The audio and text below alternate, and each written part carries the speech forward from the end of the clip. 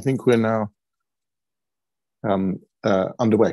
So, uh, uh, welcome to um, all our panelists and uh, to uh, anyone who is uh, viewing this session online, either in real time or um, after this um, conference has come to an end. Um, this, this is a, a, conference is part of a series of uh, conferences organised by the Project for Peaceful Competition at uh, King's College London, uh, which has brought together a global academic uh, network to consider issues that relate to uh, geopolitics and geoeconomics as, as uh, we face them at present, in particular the relationships between China and the West, but also not forgetting that we live in a multipolar world with many other uh, uh, countries and powers involved. Um, and uh, we've been trying to discuss a whole series of issues that relate to those relationships. one of those is the question of the, the modes of discussion between uh, different powers, and one of those is uh, uh, BRICS, um, which is an important grouping about which many people around the world know relatively little. Uh, and uh, we, uh, we're really delighted that uh, we've been able to assemble with the great help of CEBRI, to whom we have uh, uh, enormous gratitude, a, a, group of distinguished speakers representing each one of, them, not representing, but speaking from the perspective of each one of the members of the, of the BRICS grouping. Um, and that's all I really need to say. And I now hand over um, uh, to, uh, our, so to speak, our host from uh, CEBRI, um, Ambassador Lima. Good morning or afternoon to all. It is great pleasure to welcome you to today's event. This conference is co-organized, as uh, Sir Oliver just said, by CEBRI, uh, the Brazilian Center for International Relations and the Policy Institute at King's College London. And on behalf of CEBRI, I would like to warmly thank uh, uh, King's College London and Sir Oliver Letwin for our fruitful partnership. We are also uh, particularly grateful to our audience for, for joining us and uh, the renowned speakers who have agreed to share their insights with us today. CEBRI has had the chance uh, to organize a previous event within the Project for Peaceful Competition in May 2022, which focused on one of the main issues on which global cooperation is needed, namely sustainability and the new energy economy. Today's event is organized by CEBRI's Asia program. It further contributes to the project by investigating the role of BRICS as a mechanism to deepen cooperation among countries and to reinforce multilateralism.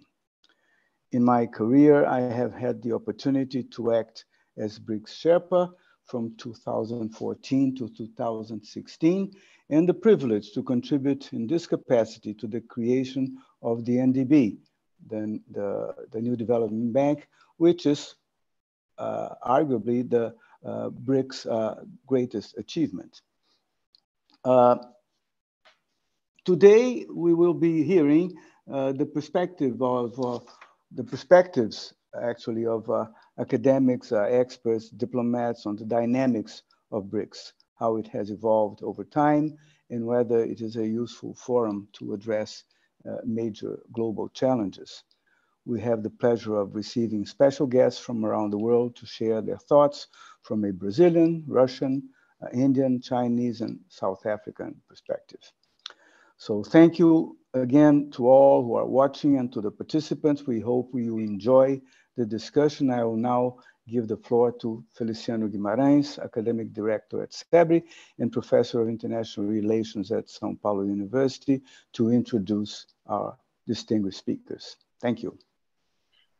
Good morning, everyone. As uh, Ambassador Lima mentioned, my name is Feliciano Guimarães. I'm the Academic Director of CEBRI and also Professor of International Relations at the University of São Paulo. It's a pleasure to be here, to be I'll be the moderator of this uh, uh, discussion. And I, I, thank you very much, the, uh, the Policy Institute, the King's College London for the partnership with CEBRI on this very interesting subject. So I, will now introduce our first speaker to, to set the scene is uh, my dear friend, Professor Carlos Milani from uh, State University of Rio de Janeiro. Carlos Milani is one of Brazil's most distinguished academics. It's, it's something that I'm always looking up to and I, I admire so much uh, his work. Um, uh, he, he coordinates two research centers at the State University of Rio, the World Political Analysis Laboratory, as we call here in Portuguese, Lab Mundo, and the Interdisciplinary Observatory on Climate Change. His research agenda includes Brazilian co- uh, and comparative foreign policy, international development cooperation, South-South relations, human rights, and climate change. And his latest books are Solidarity and Interest, Motivations and Strategy in International Development Cooperation, 2018, Brazilian Cooperation Agency, 30 Years of History and Future Cha- uh, Challenge, 2017, and Atlas of Brazilian Defense Policy, 2017, and Atlas of Brazilian Foreign Policy, 2016. So it's a pleasure to have everyone, everyone here. And I, I give the floor back to you, Professor Milani. Thank you for accepting the invitation. Thanks a lot, uh, Feliciano. Hello, everyone. It's a pleasure to be here. Thank uh, CEBRI for the invitation. Um, it's uh, really nice to be here with uh, Sir Oliver Letwin, Ambassador Graça Lima, of course, my dear colleague and friend Feliciano Guimarães, and all these fellow researchers and diplomats from the BRICS countries. I was asked by CEBRI to uh, uh, deal with uh, the guiding questions of today's debate, which are, as presented in the project document, can the West cooperate with the East, particularly with China, in view of a peaceful future? And can the BRICS group be helpful in view of a peaceful future order? Of course, such uh, questions uh, may lead to manifold answers presenting several layers of complexity. Peaceful competitions also involve geopolitics and conflicts of interests. Even the Olympics so can we imagine peaceful competitions that are not the Olympics? They also involve geopolitics, of course. That is why I hereafter summarize uh, some uncertainties, what I would call uncertainties that are present in the international scenario, in my perspective, uh, in five uh, macro phenomena that associated uh, with each other may reflect the central realignments currently underway in the global order, which challenge multilateral organizations, uh, their capacity to act and to respond to challenges, and also the BRICS grouping in terms of adaptation and proposal of innovations uh, in the institutional reforms of these multilateral organizations. The first uh, uh uncertainty uh, with the hegemonic uh, dispute uh, between the US and China and the resulting transition scenarios on the international chessboard. Of course, many scenarios are possible. Graham Allison, in his book from uh, 2017, presented several possibilities between diplomacy, peaceful transition, and war. And there are many gray zones in the middle, which uh, this project is dealing with, of course. The second uncertainty has to do with the war in Ukraine and Russia's role in international politics. Independently of the views that we may have on the interests that players and actors have in this war, it's definitely something extremely relevant for international security, particularly for uh, security in Europe. The third uh, uncertainty, I would say, comes from the political economy uh, dimension of the international order. And it is uh, dealing with the continuous process of uh, autonomization of global finances in the design of what appears to be the new capitalism of the 21st century.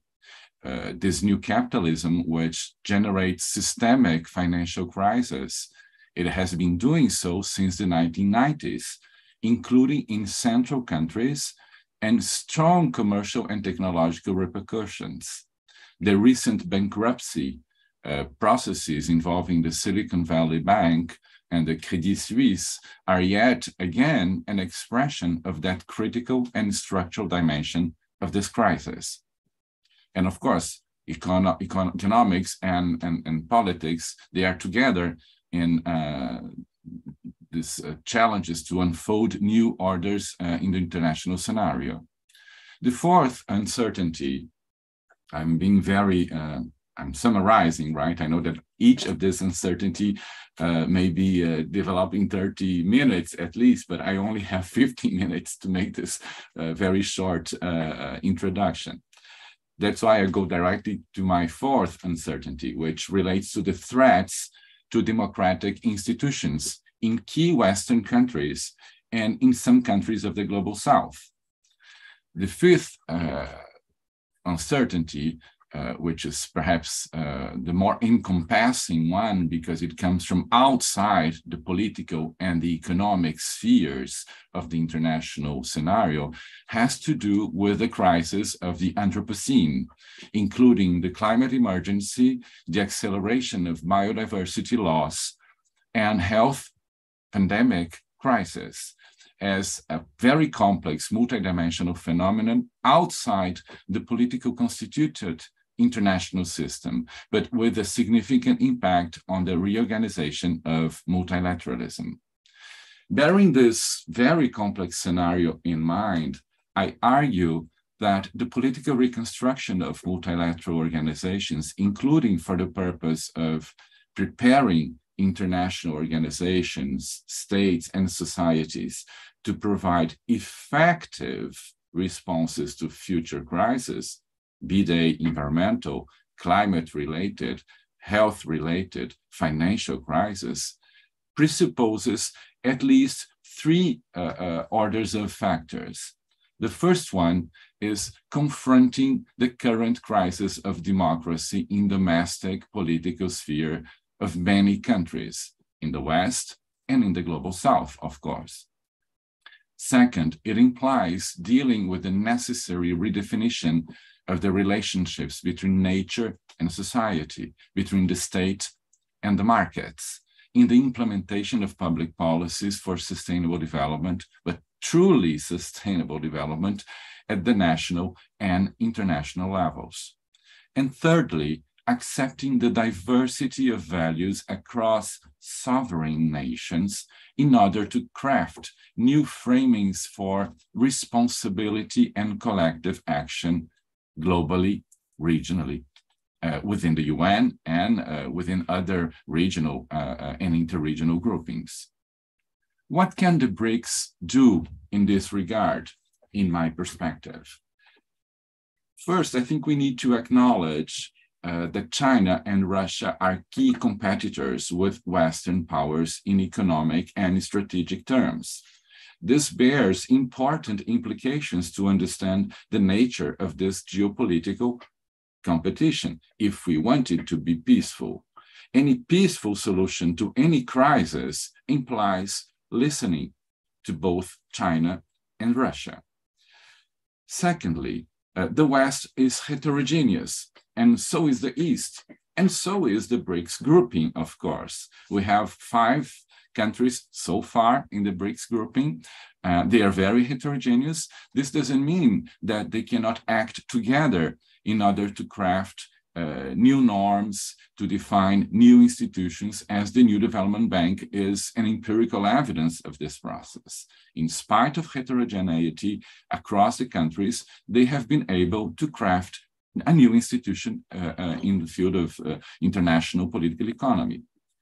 Uh, the need, though, I think, uh, uh, I think there is a need, though, to bring societies in in order to avoid, to avoid a strictly traditional vision of geopolitics at the service of state enterprise in defining the roadmap to a future peaceful competition. Even Graham Allison, uh, whom I mentioned at the very beginning of my speak, uh, opens avenues of cooperation in order to avoid to Thucydides' trap in his book. Bertrand Badie in France also makes an invitation in one of his more, most recent book uh, to acknowledge uh, international relations also as intersocial relations.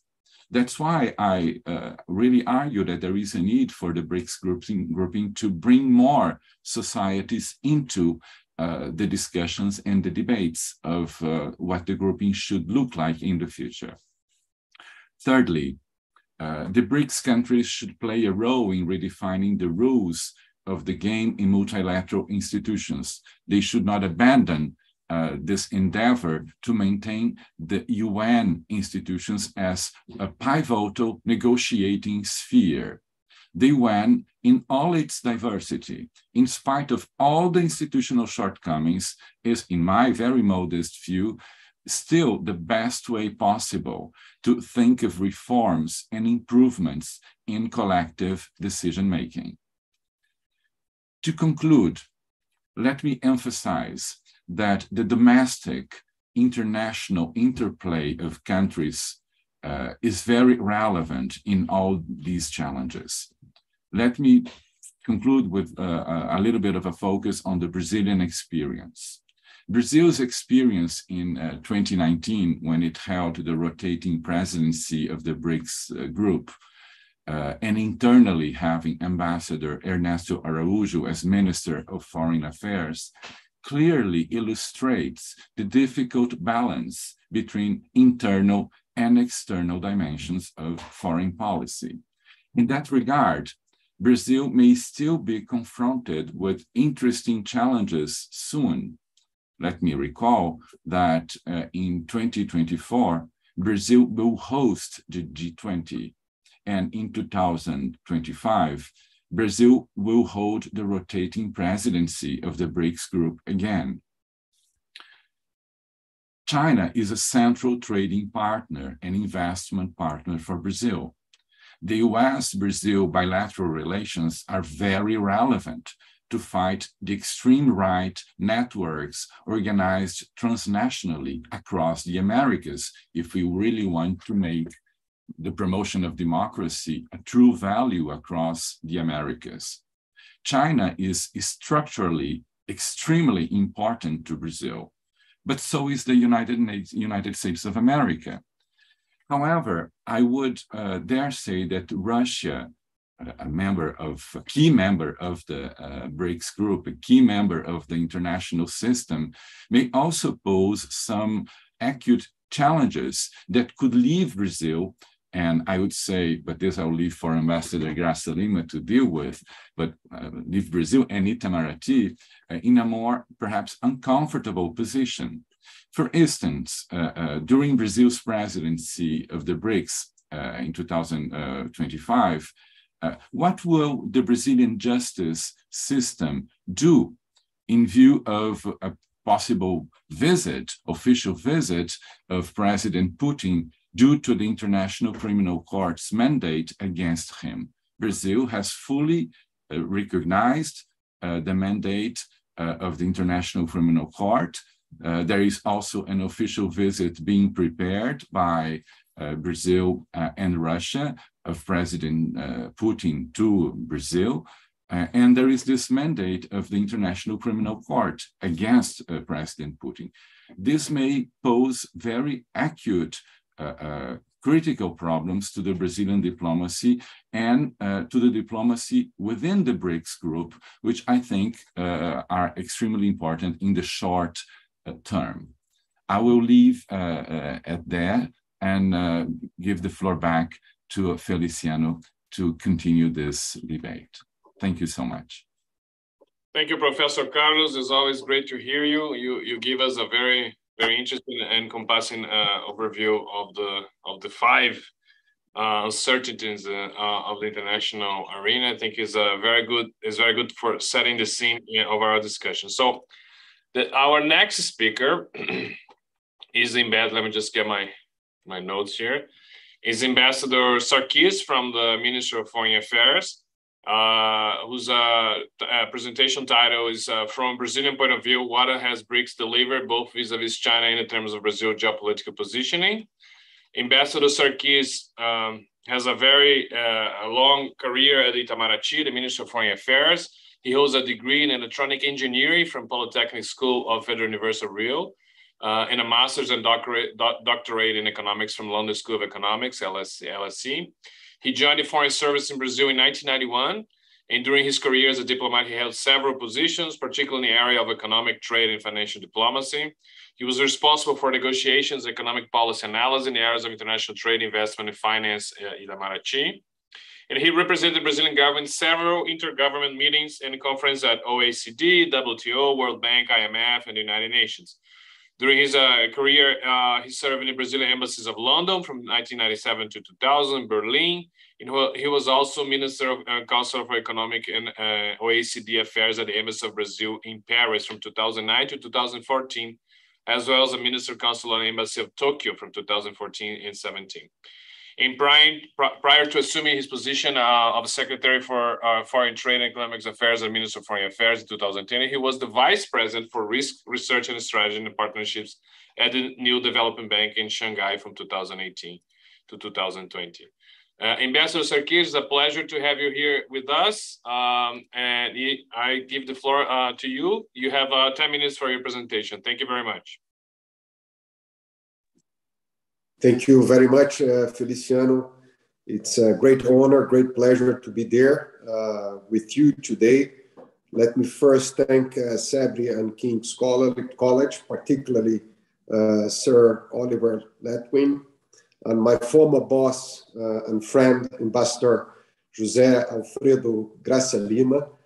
Uh, I will speak on a personal capacity thank you, Feliciano, for uh, introducing uh, myself. I would say in the last almost three years, I've been Brazil Sherpa at the G20 and the BRICS. I'm still Brazil Sherpa at the G20. Uh, another colleague uh, took over from me the Sherpa position uh, at the BRICS, and this leaves me more comfortable uh, in speaking today uh, on a personal capacity. I will try to benefit from my experience at the New Development Bank and as Sherpa of BRICS, uh, and also as Sherpa uh, at the G20 in particular.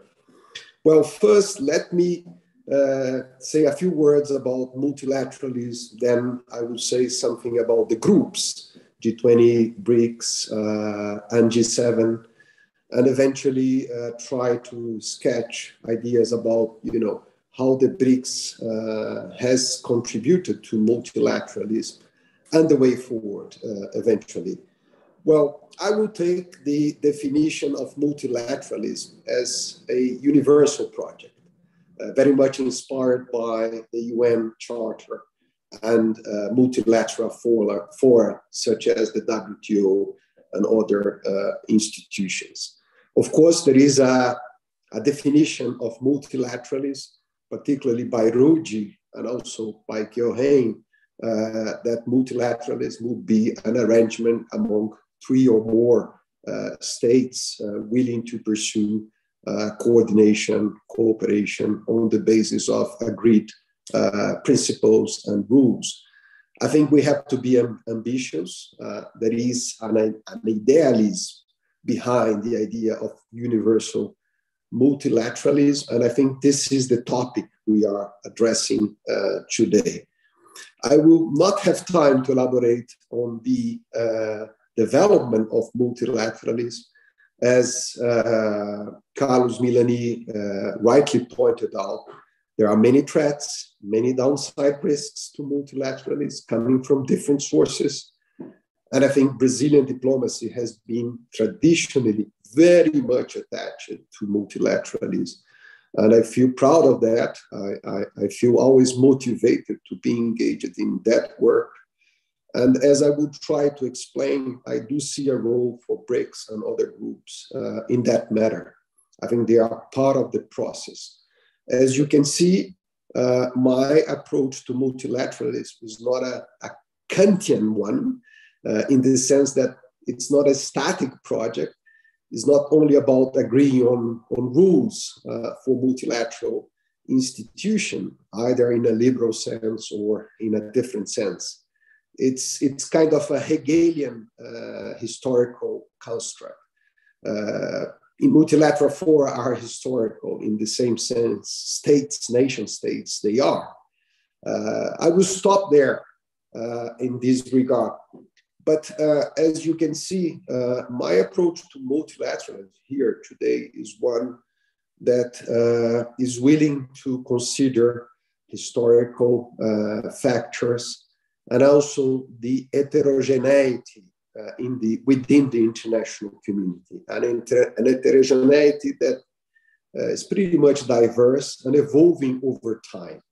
So uh, countries have to reconcile with the multilateral rules. They have to identify their interests, their objectives uh, continuously within that environment.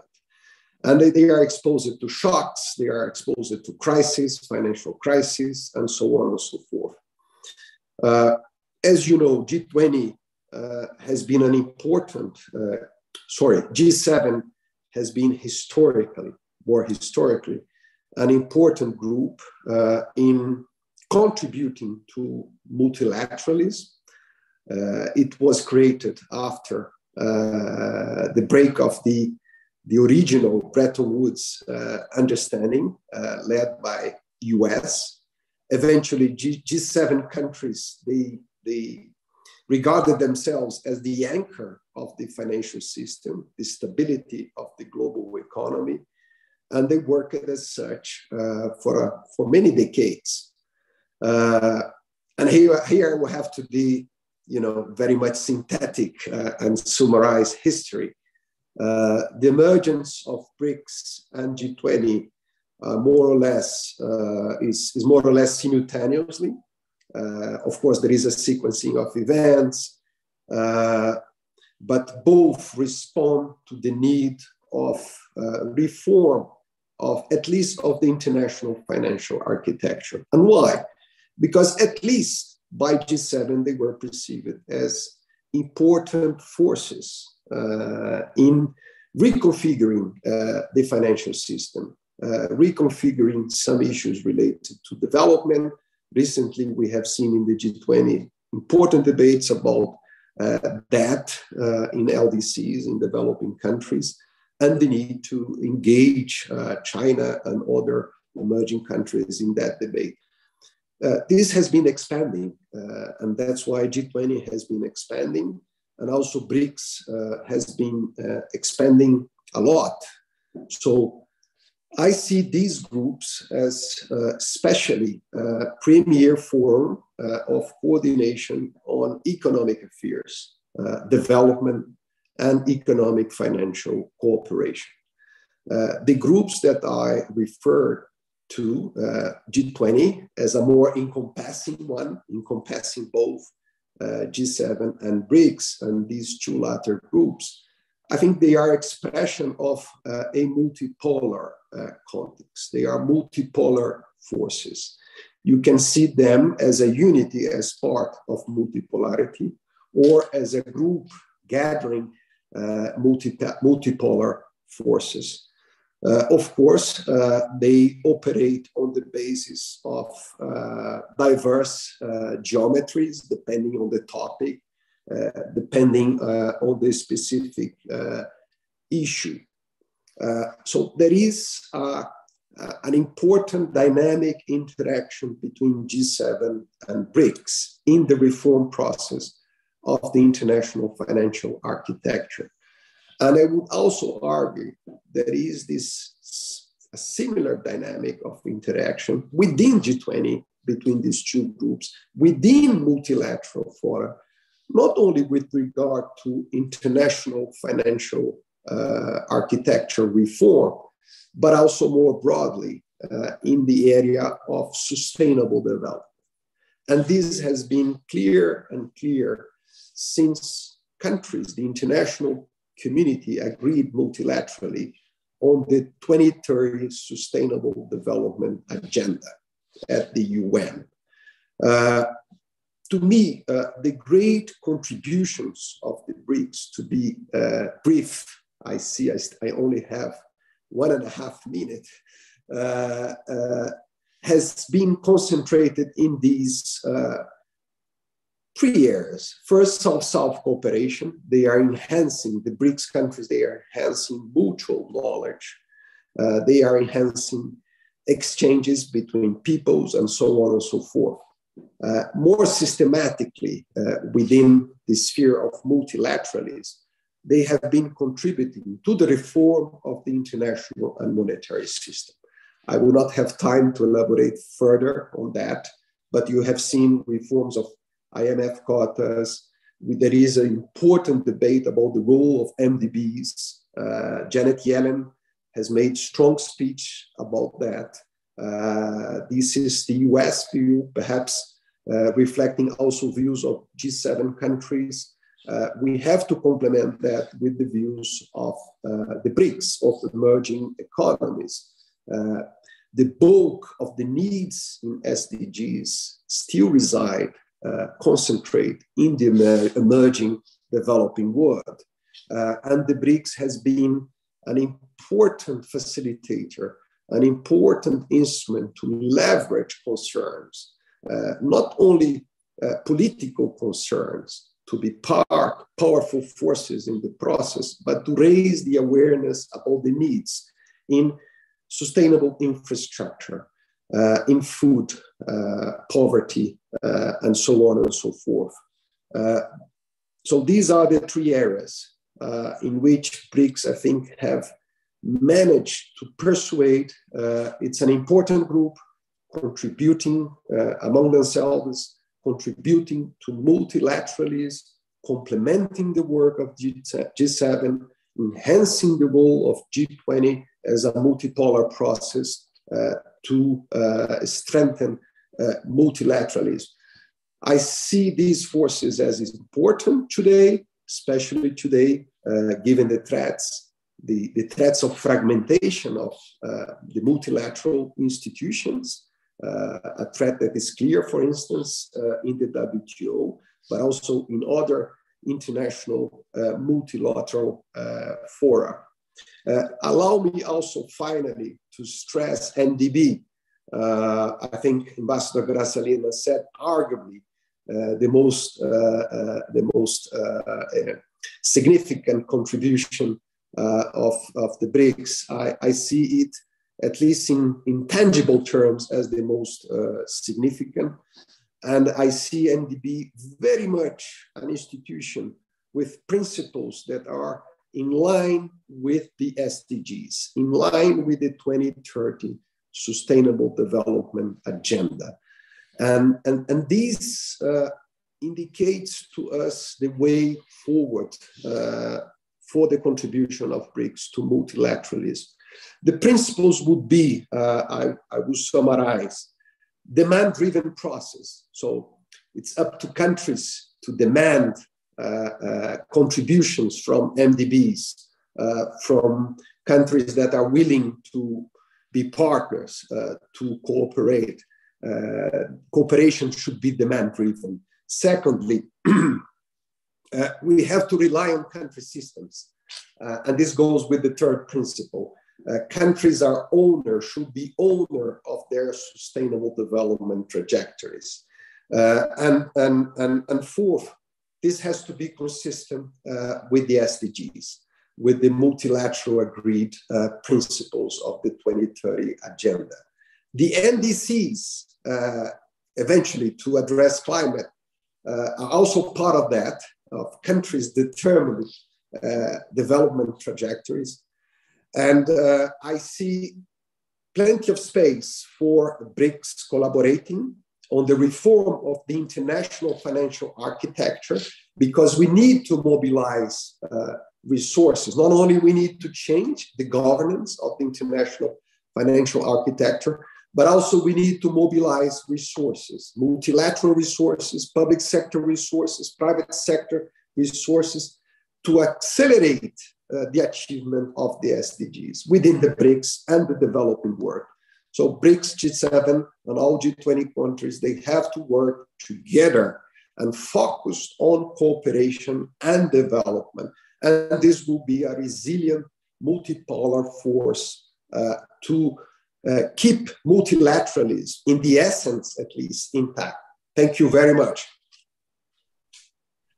Thank you very much, Ambassador Sarquis. It's always a pleasure to hear you as well, based on your vast experience in international negotiations. And uh, I think you, you summarized very well the, the goals of the NDB and emphasizing the, uh, the role of NDB as uh, BRICS' most important uh, empirical contribution to the international uh, uh, order, order. I just would like to remind everyone that we have between here and the, our YouTube channel at CEBRI more than 100 people online this is a, a record event, so it's going to be there at the YouTube uh, afterwards, and uh, usually our numbers triple after uh, uh the presentations are done. So more than 300 people probably hear uh, and listen to, to these presentations. Now, I'm going to pass uh, the word to Professor Elizabeth Sidiropoulos, Director of the South African Institute of International Affairs she will uh, answer the question from a South African point of view, how productive is the engagement with China via BRICS, and how does it compare with other forms of Sino-African engagement?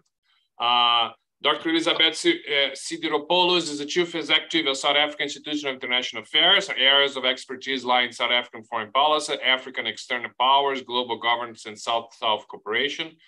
Her most recent publications included co-edited vo uh, volumes on values, interests, and powers, South African foreign policy in uncertain times, published in 2020. The, the Palgrave uh, Handbook of Development Cooperation for Achieving the 2030 Agenda, published in 2021. And she's the editor-in-chief of South African Journal of International Affairs. Just a, a, a, quote we created recently, a year ago, the Brazilian uh, CEBRI Journal of International Affairs and the South African Journal of International Affairs is, was one of the the journals that we took in consideration to sort of be uh, uh, inspired by to create our own journal here at CEBRI. It is a policy-oriented peer review and interdisciplinary forum for discussions on African and South African international affairs. And she's a regular commentator in South African and foreign media. In December 2020, she was appointed to serve on the UN Second High Level Advisory Board on Economic and Social Affairs and she's uh, is a co-chair of the task force on the SDGs on the Indian think tank presidency in 2023. So Dr. Elizabeth, you have the floor. It's a pleasure to have you here with us. Thank you very much. Great. Uh, thank you. Thank you very much, uh, Feliciano. And, and I'm going to convey your, uh, your observations about the CEBRI journal also to my academic editor. She'll be very pleased uh, regarding the journal.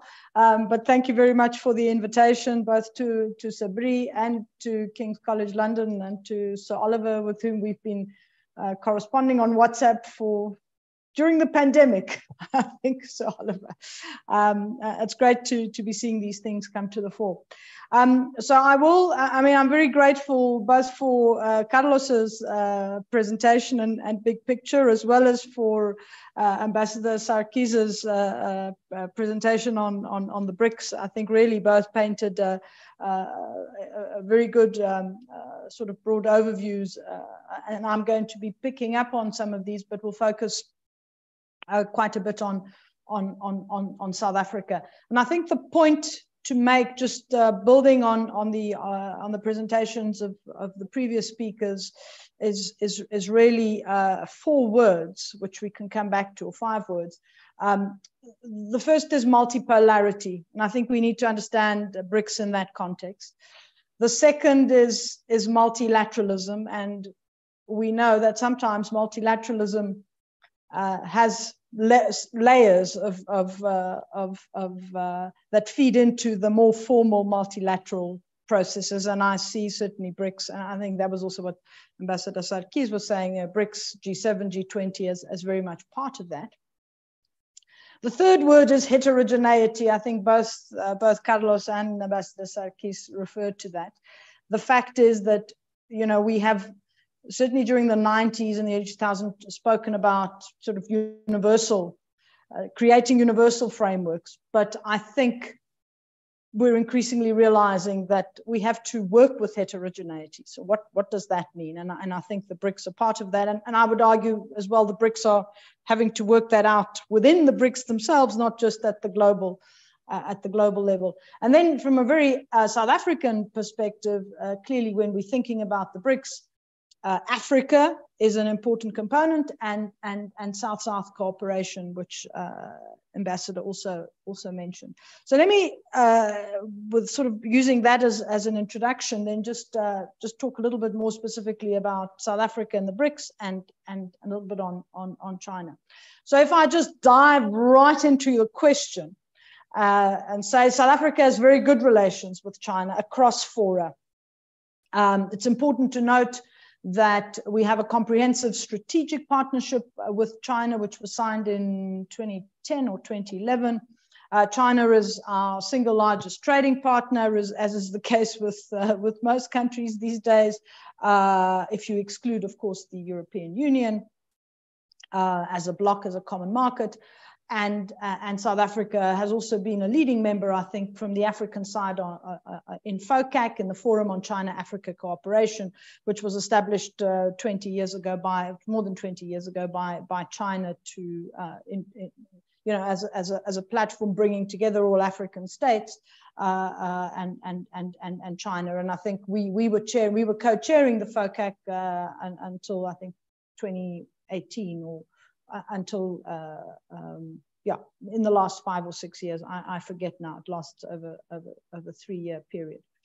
Um, the the relationship, obviously, the economic relationship is is is uh, um, is often one that sort of replicates the kinds of relationships that we see with global north, global south.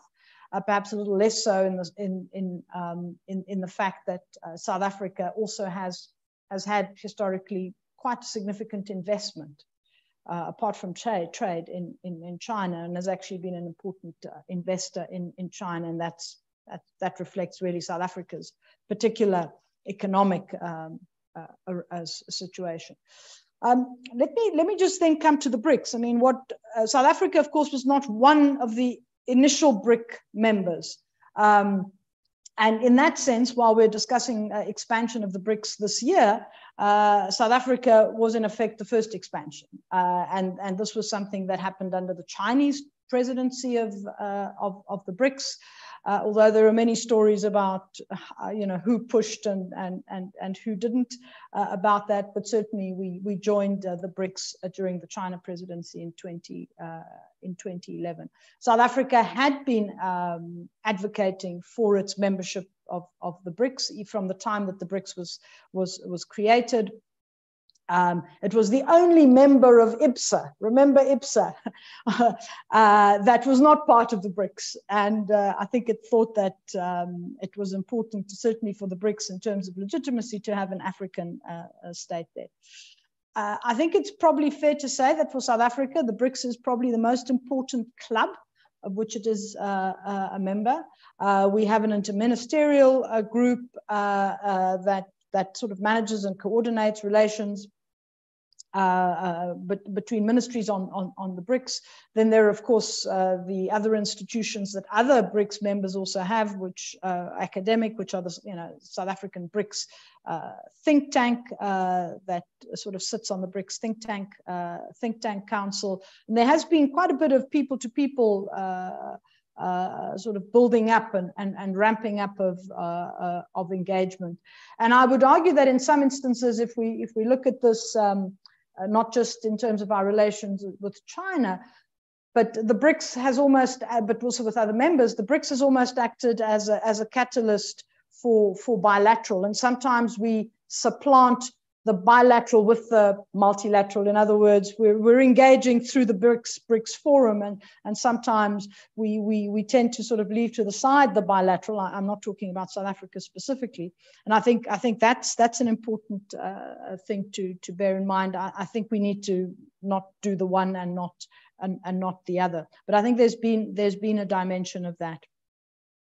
Um, I think it's also obviously, um, uh, I think the point I want to make about why the BRICS is so important is probably the most important uh, club for South Africa is that where we have an interministerial with the BRICS, we don't have one, for example, with the G20, which, which has also a fairly, well, in fact, you know, in many, in many ways, a much broader um, uh, agenda. And that is certainly something that has been in discussion in South Africa, but hasn't really been, uh, hasn't uh, been affected.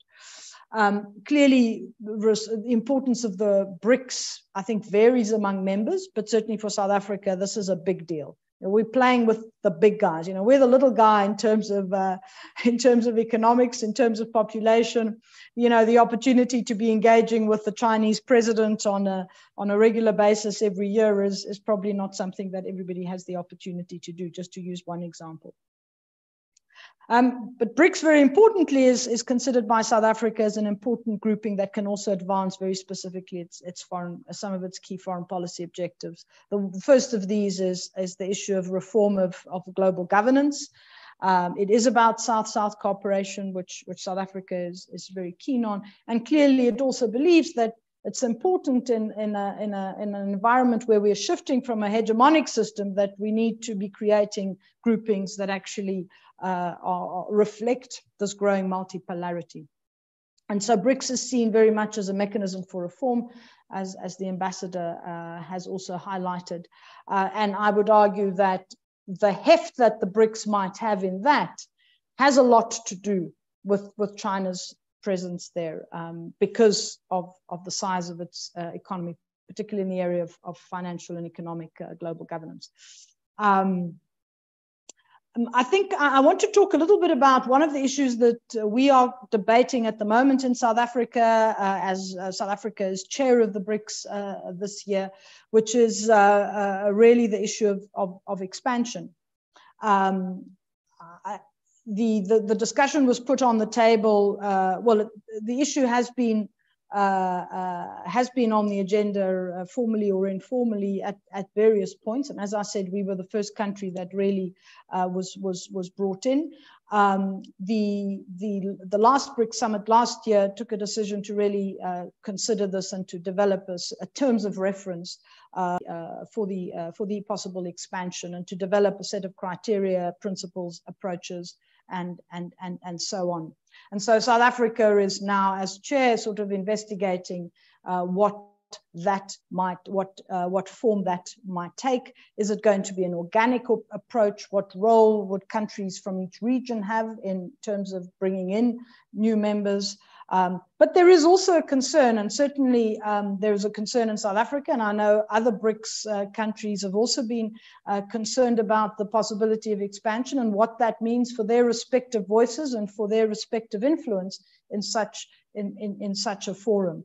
Uh, so the issue of exclusivity is, uh, is an important element of it. We all want to be inclusive, but we also recognize that, you know, hey, if I'm the only African country there, that's, you know, that's kudos to me. Um, and, and, and, and I think that, uh, and, and, that gives me greater opportunity for influence than, than the, when the group expands and it's diluted. I think what is interesting to note, and this comes to the point around uh, multipolarity and heterogeneity, is that there's been growing interest from the global south in this institution over the last uh, uh year or so, especially since the Ukraine war. I'm not quite sure whether there is, uh, but maybe there is uh, a linkage there. Apparently, some seven, seven countries have formally applied, seven have uh, um, asked questions in, informally. Um, many, certainly in the West, in that context, also have increasingly seen it, not just now, but I think over the over the trajectory of the BRICS' development as a competitor. It's um, it's you know it's it's a counterbalance. Certainly, from a South African uh, perspective, it's often argued that the, it shouldn't be seen in that way. But I think clearly, as we move into a more geopolitical world, this is becoming increasingly difficult. And while sort of having different groupings with different interests and coming from different perspectives is one thing, a situation where you almost are at sort of contesting uh, uh, uh, in, in, in, a much more uh, polemical way is clearly not what helps uh, uh, peaceful competition.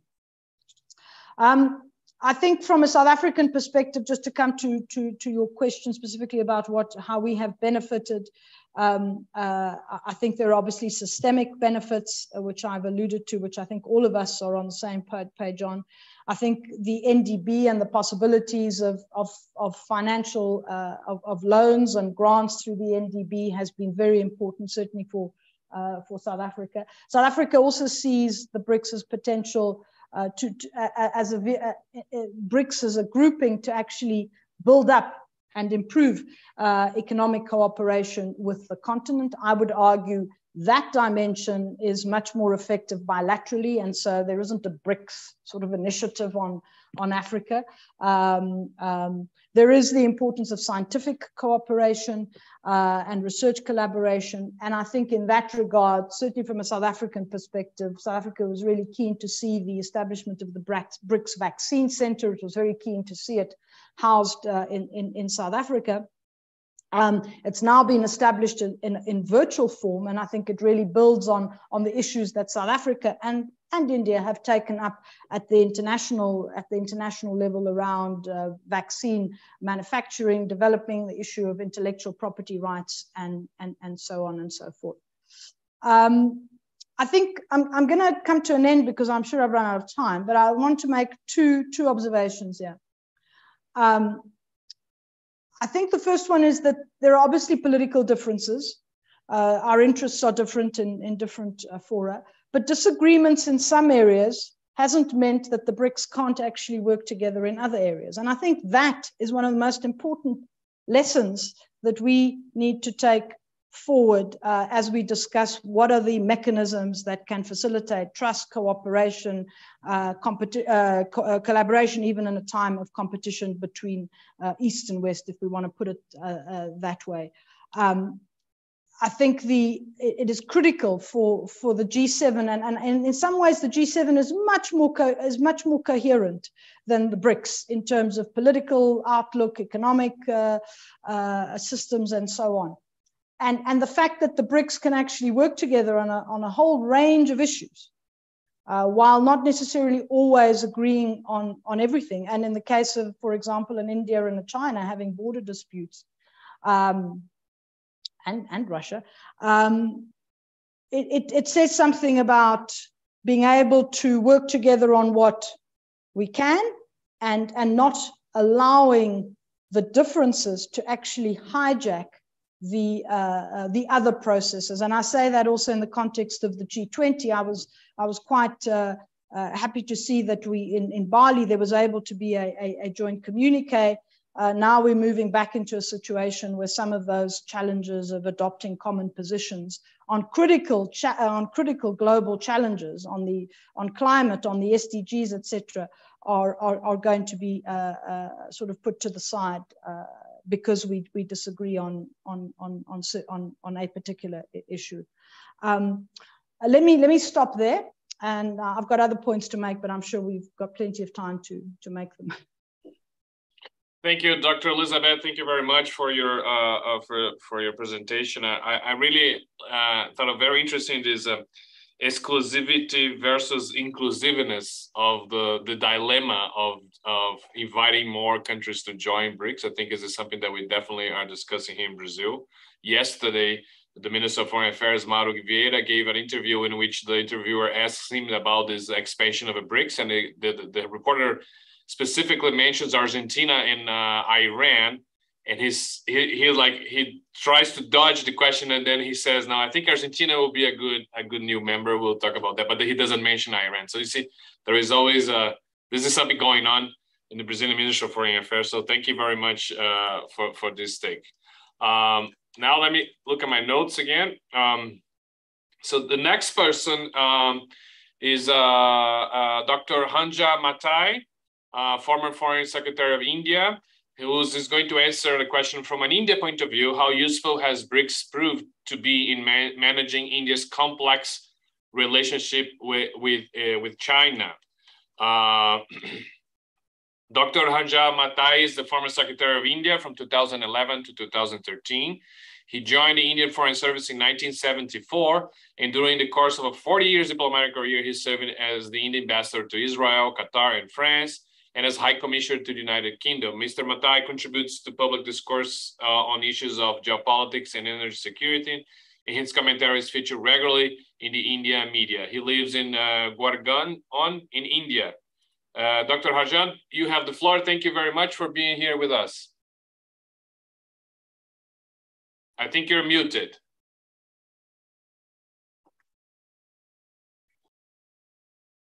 Thank you, you. Thank you very much. And also thank you for awarding me an honorary degree, which I don't actually have. I'm usually known as Mr. Ranjan Hi.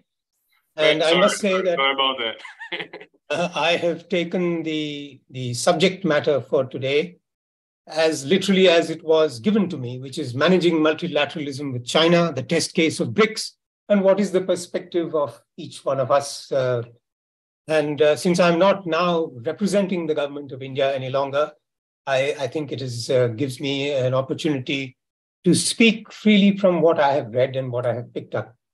Uh, I'm grateful to Ambassador Sarquis for having introduced the definitional part of multilateralism, which takes at least one minute out of my presentation, and also to Elizabeth for having brought up IBSA, which I will also then leave out as another example of multilateralism.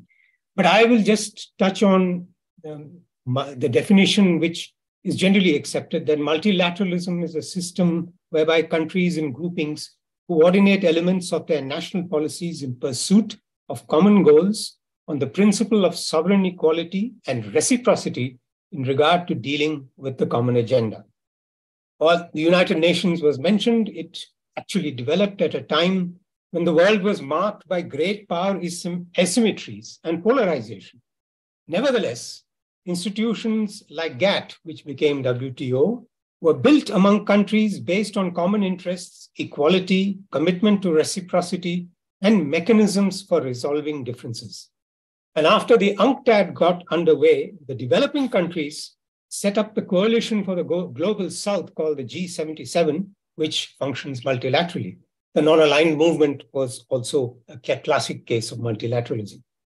Now, while BRIC got a name in 2001, as we all know, it started as a multilateral grouping in 2006 on the margins of the G8 in St. Petersburg. And finally, in 2009, the first summit was held in Yekaterinburg in Russia. We are delighted with the addition of South Africa that BRIC has become BRICS. And the group has held together despite the challenges of geopolitical and financial economic crises since then, and also a number of bilateral issues which have been referred to. 14 summit level meetings have been held, and a great institution of the New Development Bank has been set up. But there is also an alternate view that the origins of the idea go back to Russian Prime Minister Primakov's proposal for a Russia India China grouping, which he put forward in December 1998. Since the BRIC idea and the RIC idea came from Russia, India was initially cautious about RIC and took a look at it. But China was negative, and according to Susan Tapley, quickly sank the idea. At that point, China and the US had a few months earlier issued a joint statement regarding South Asia in which they claimed to recognize their responsibility to contribute actively to maintenance of peace, stability, and security in South Asia. India quickly dismissed this effort at a G2 as reflecting hegemonistic mentality of a bygone era and completely unacceptable. However, with the noteworthy contribution of Russia, BRIC finally got underway in the early 2000s. And there was, when it finally did meet, there was consensus on what the Indian Prime Minister and the other leaders agreed that BRIC had a role to play in promoting multilateralism, reform of the institutions of global governance, including the UN, to reflect contemporary realities. By the time of the 2012 summit in Delhi, in which I participated, an emphasis on ensuring multilateralism and reform of global governance, including the UN Security Council, was clearly articulated. You will recall that in 2011, not only did South Africa join, South Africa, Brazil, and India were all on the Security Council. The New Development Bank was initially discussed in Delhi, and a, a task force was set up and its establishment can be seen as a great achievement of multilateralism. And I think it has to be recognized that the important part of it was that it was based on the principle of equal voting, even if initial contributions were not. And here, I think, was a great contribution of China to the concept of multilateralism, because the contrast with the Bretton Woods institutions immediately became a, a noticeable to the world. The BRICS agenda has expanded considerably with consensus from its initial focus on economic and global governance. Today, it includes political and security cooperation, people to people exchanges, and uh, climate change, terrorism, food and energy security, telecommunications, agriculture, quite a transformational agenda. During the Chinese chairship of BRICS in 2022 and the previous Indian, there were a very large number of meetings, 160 meetings in 2022. And I believe South, the South African chair is planning a similar number. But in addition to the expansion of the agenda, there has been increasing intrusion of geopolitical differences into the BRICS debates. In India, there has been a growing unease about this, particularly at China's attempts push the grouping in line with its preferences. I have not been involved in the negotiations, but from news reports, it, it has been clear that there have been differences over attempts to include in the joint statements uh, elements about the Belt and Road Initiative, parts of which India views as an affront to its sovereignty.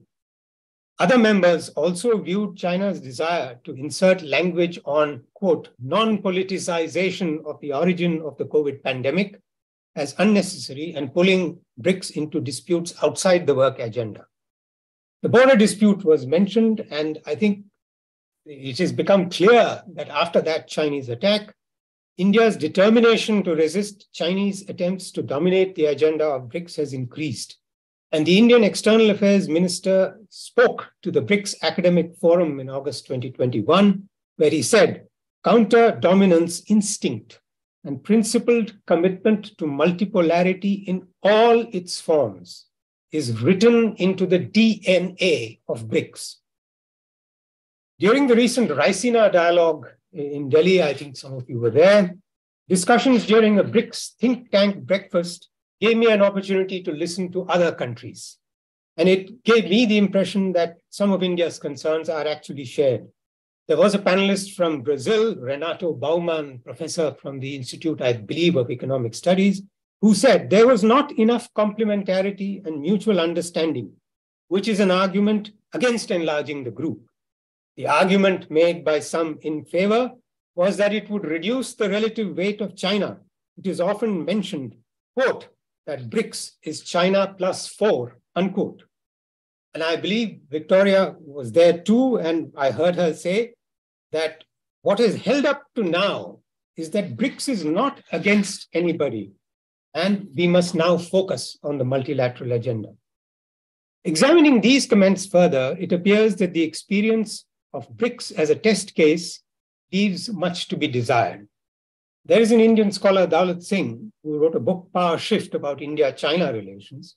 And he compared the US role in post war multilateralism with that of China today, saying the logic for stronger rising powers such as China to initiate a process of sharing power and authority to create durable institutions exists. And I think there's merit in his comparison. If you just look at the figures, within BRICS, 25% share of global GDP, China is 18%. BRICS, 17% share of global trade, China is 12%.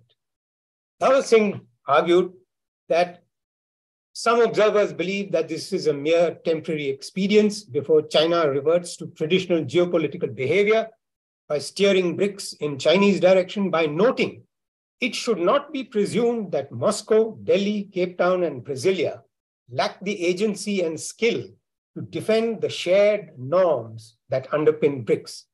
There is some evidence of the defense of these shared norms happening in an official document. The BRICS joint statement of May 20, 2022, following the meeting of foreign ministers with China in the chair. In para one, the ministers agreed that facing the newly emerging features and challenges, the BRICS countries should enhance their solidarity and cooperation and work together to address them.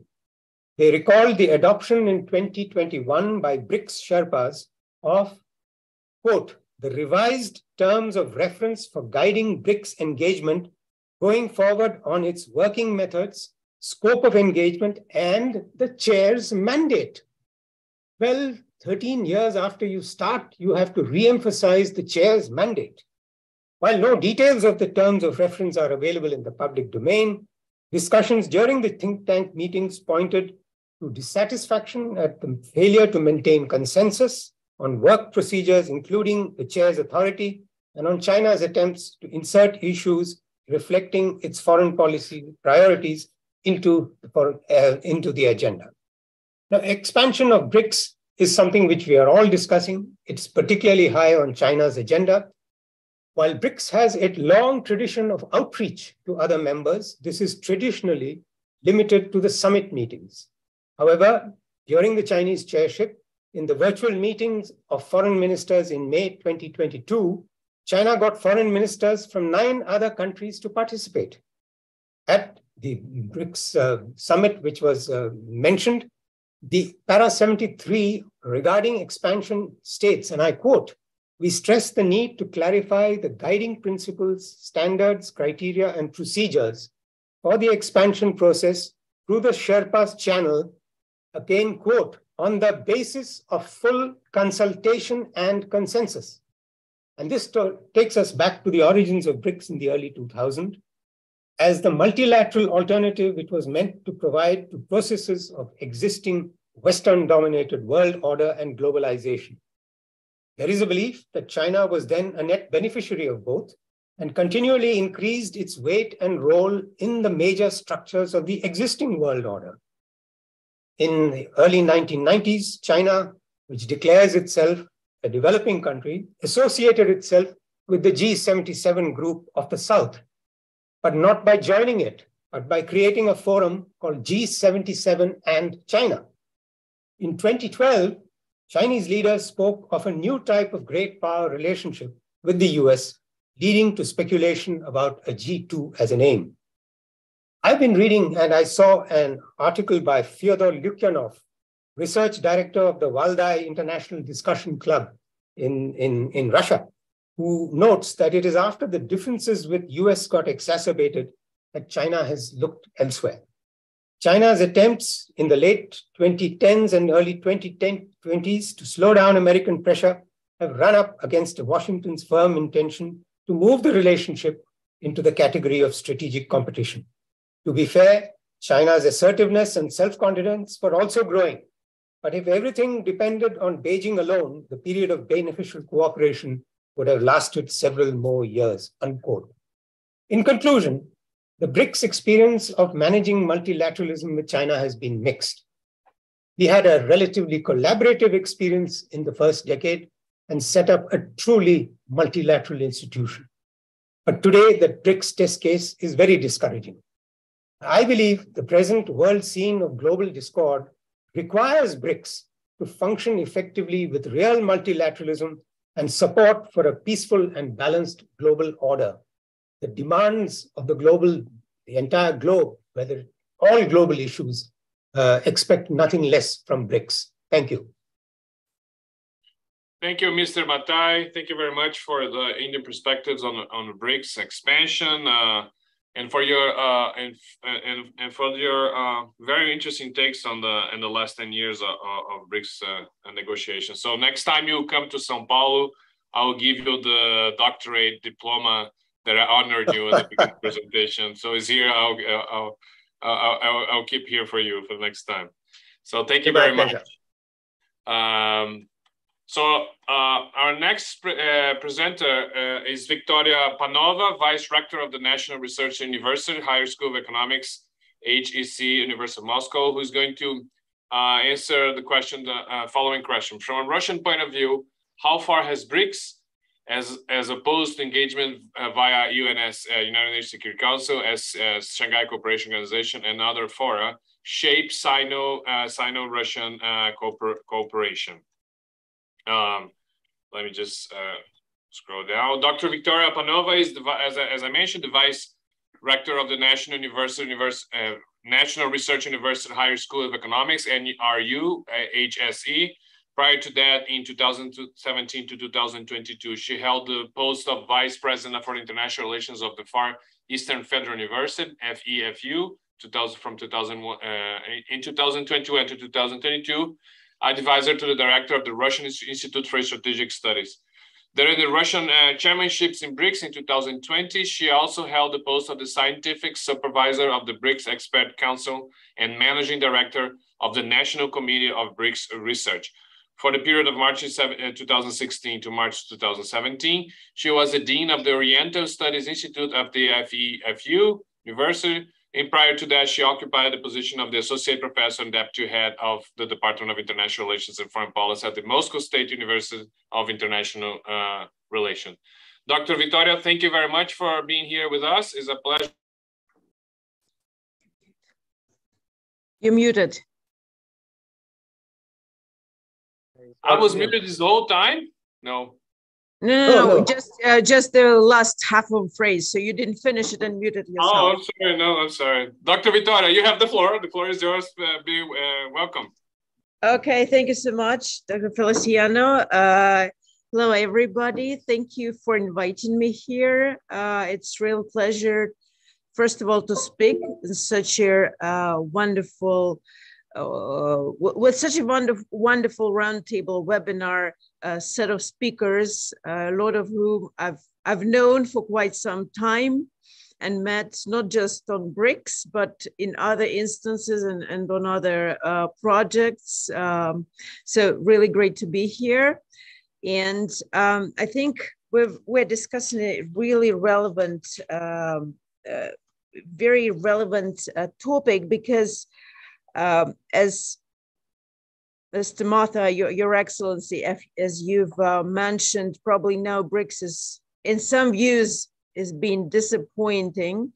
Uh, although I can argue this a bit, uh, because if we compare to the general situation, which is ultimately, utmostly disappointing with regards to global uh, geopolitical situation, probably BRICS remains a safe haven for the countries that are there. And probably this is why we're witnessing a number of countries. Uh, I think Elizabeth mentioned seven. I think there were three official applications and about a dozen of countries that we saw in different ways, either in the news or like with some uh, sorts of um, um, more or less semi-official uh, applications being held. So uh, BRICS is seen as something that could present an alternative uh, with regards to possibility of building a new, safer world that's not rules-based in the interest of just some, but rather uh, based on the centrality of the United Nations. Although, as uh, Mr. Mathai might remember, also uh, spoke about their uh, Trizina about probably BRICS 7 as a UP5, uh, because this gives an opportunity to countries like South Africa, like um, India, who is actually big global player, very important one, not being officially uh, a permanent member of UN Security Council, uh, actually play a more significant role and uh, demand the role that it really deserves on the global arena, with the situation being today as such that, um, I mean, it's uh, very difficult to move things ahead, especially with their UNSC, but probably BRICS is a good option to uh, push forward this fairer multilateral uh, reform and actually allow for uh, practicing true multilateralism. That is why BRICS probably is not uh, such a disappointed, in my view, uh, entity as, as, it might seem if you kind of compare um, with the rest. Um, what is there as well? Um, I would like to probably stress before answering the Sino-Russian um, question a few points that were raised by uh, previous speakers, uh, like when uh, Carlos started talking uh, in the beginning that probably our societies need to talk more to each other. In fact, probably we would be happy to involve CEBRI more into such interactions because we formed, and this is very much counter to what we see with the other many other uh, global and regional uh, institutions, or um, we have this network of cooperation and of discussions, uh, not just on the official level. And that's probably what Mr. Mathai have mentioned. Uh, you remember when China is a main proponent of this BRICS Plus uh, today, it gathered no, uh, other non-BRICS countries, not just on their uh, summit, not just for the summit, uh, but in fact, it responds to their uh, desire and to the need of our countries, not just to talk to each other, because we have civil, we have uh, academic, and actually academic BRICS has been held since 2008, even before the first summit. So we were even prerequisites, we or, or, or formed the basis on an expert level for the official gathering. We have the business BRICS, we have um, uh, Women Business Alliance, we have uh, parliamentarian BRICS, youth BRICS. So it's a whole set of um, networks that allow for interaction, not just on official level, not just for our leaders to meet and kind of uh, uh see each other twice a year within BRICS and within the G20, uh, but uh, it offers this not only vertical, but also horizontal flow of ideas um, ensuring that this um, entity leads us somewhere. Uh, that's that's one thing.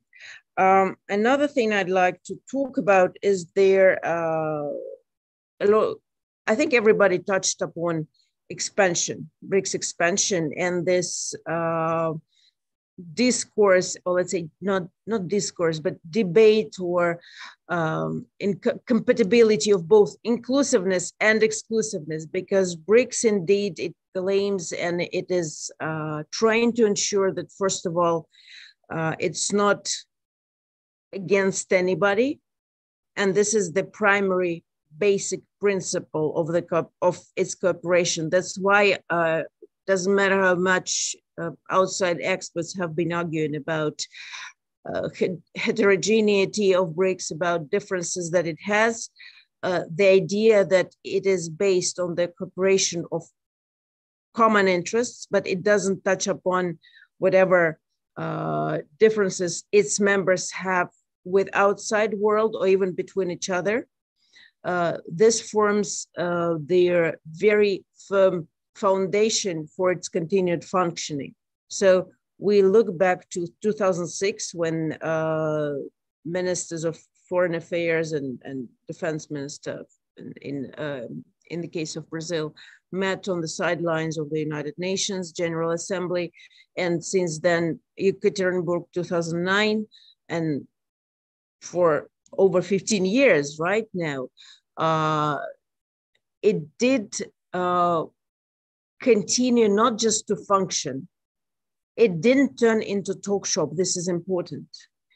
It might look like that to some who do not go deep into uh, actual activities. But if you look into what's really been happening, not just uh, official documents, you see uh, that a number of projects are being realized with concrete results. NDB is just one of the instances. It's very vivid. I like to uh, put it as an put ahead it as an example, specifically because such different countries uh, as BRICS, they uh, from the idea being born to the actual establishment of BRICS Bank, we had only two and a half years this is extremely fast.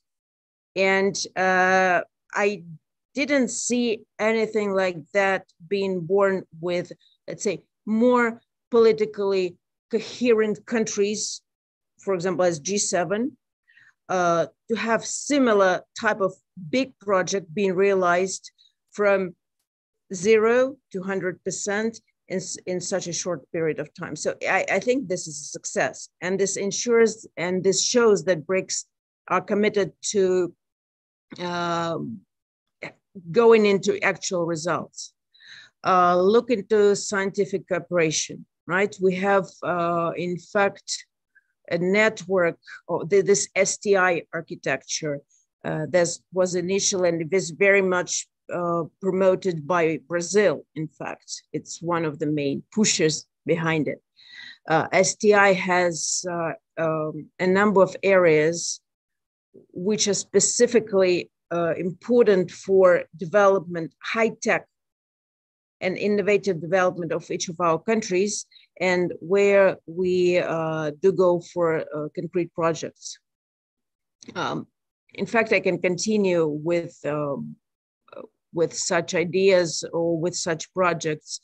Uh, take their economic partnership strategy, right? It looks like we're very much distant from each other, not much in common. China is probably the only country with whom everybody has a big share of um, trade turnover.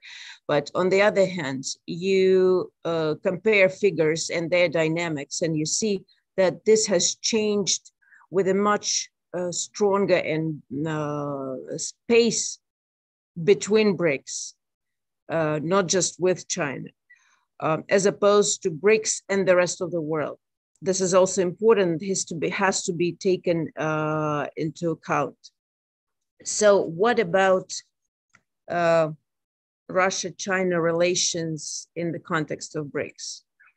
I remember within one of the academic forums, um, one of uh, the Russian experts uh, after talking to Chinese, they say, well, China and Russia are their, uh, Russia and China are the mother and father of BRICS.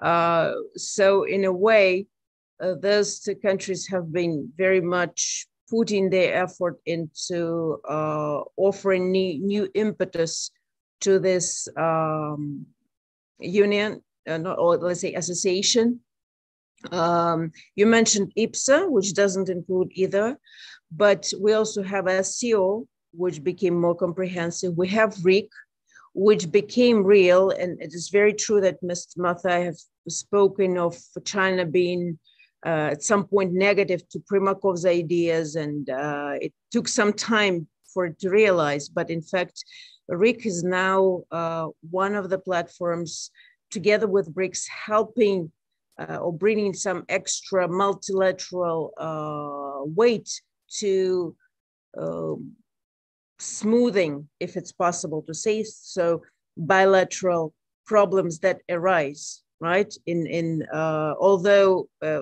if we talk about RIC format, uh, Russia was very eloquent saying that we're not going in the middle and there is no way we are um, saying anything to either of their um, participants. Uh, but it was also true that we used this platform and it was welcomed by both parties to uh, have an additional platform to talk and to find solutions, be, be them temporary at the moment, but still they are.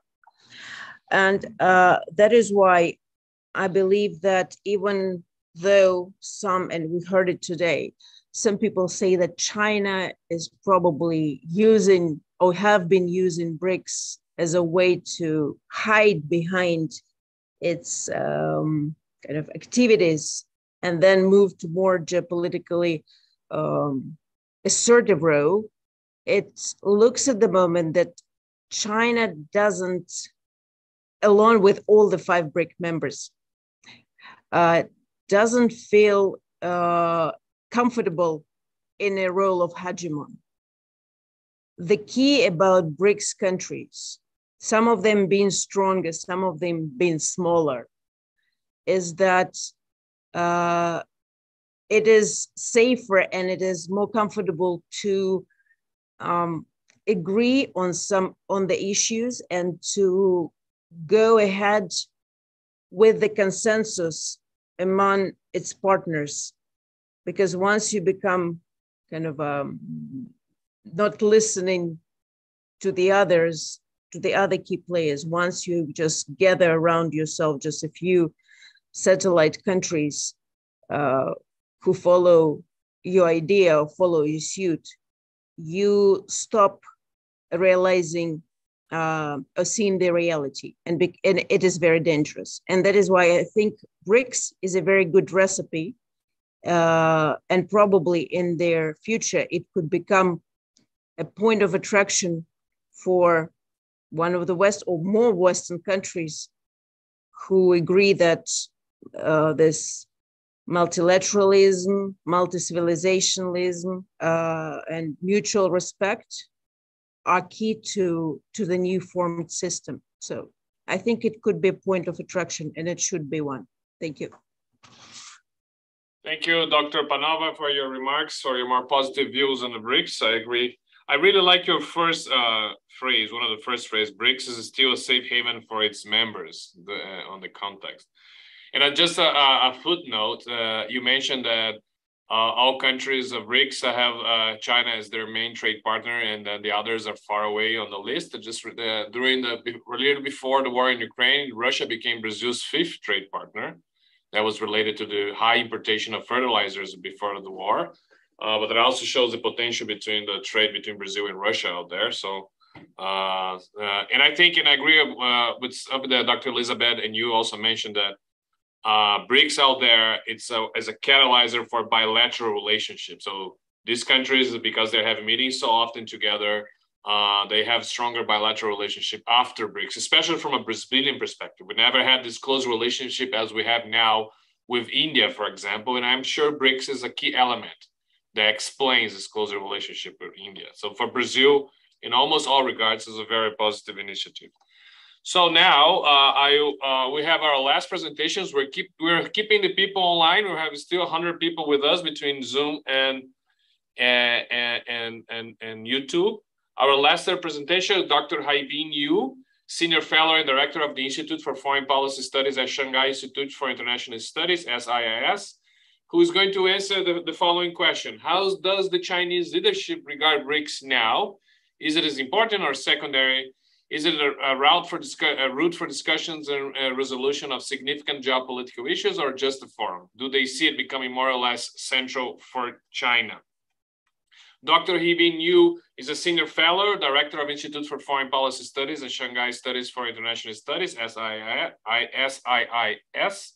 And Dr. Niu joined SIIS after receiving his PhD of International Relations at Fudan University in 2006. 2006 just another footnote, Fudan University is our one is one of our partners here at University of Sao Paulo. So we are after now, after the pandemic, we're starting to resend our students to study an international relations school at Fudan University. So uh, our students are very happy about that.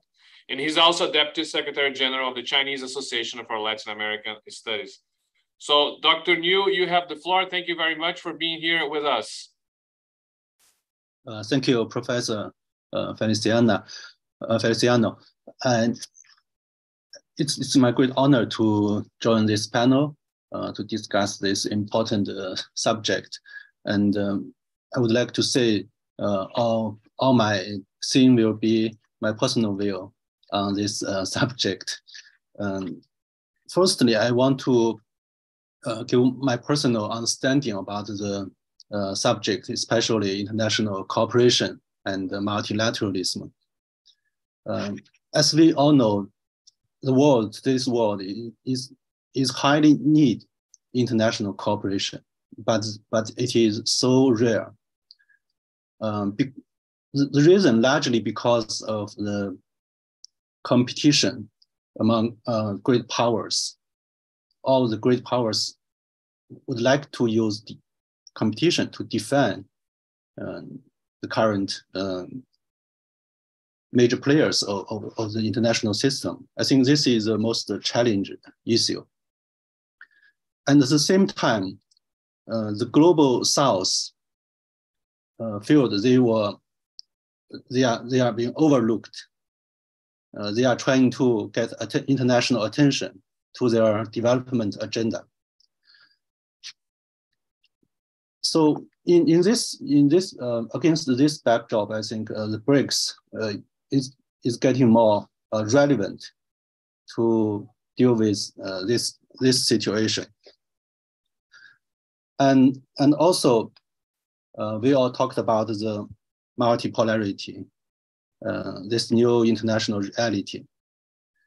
I, I, I think the functional multilateralism is to adapt itself to the changing international context.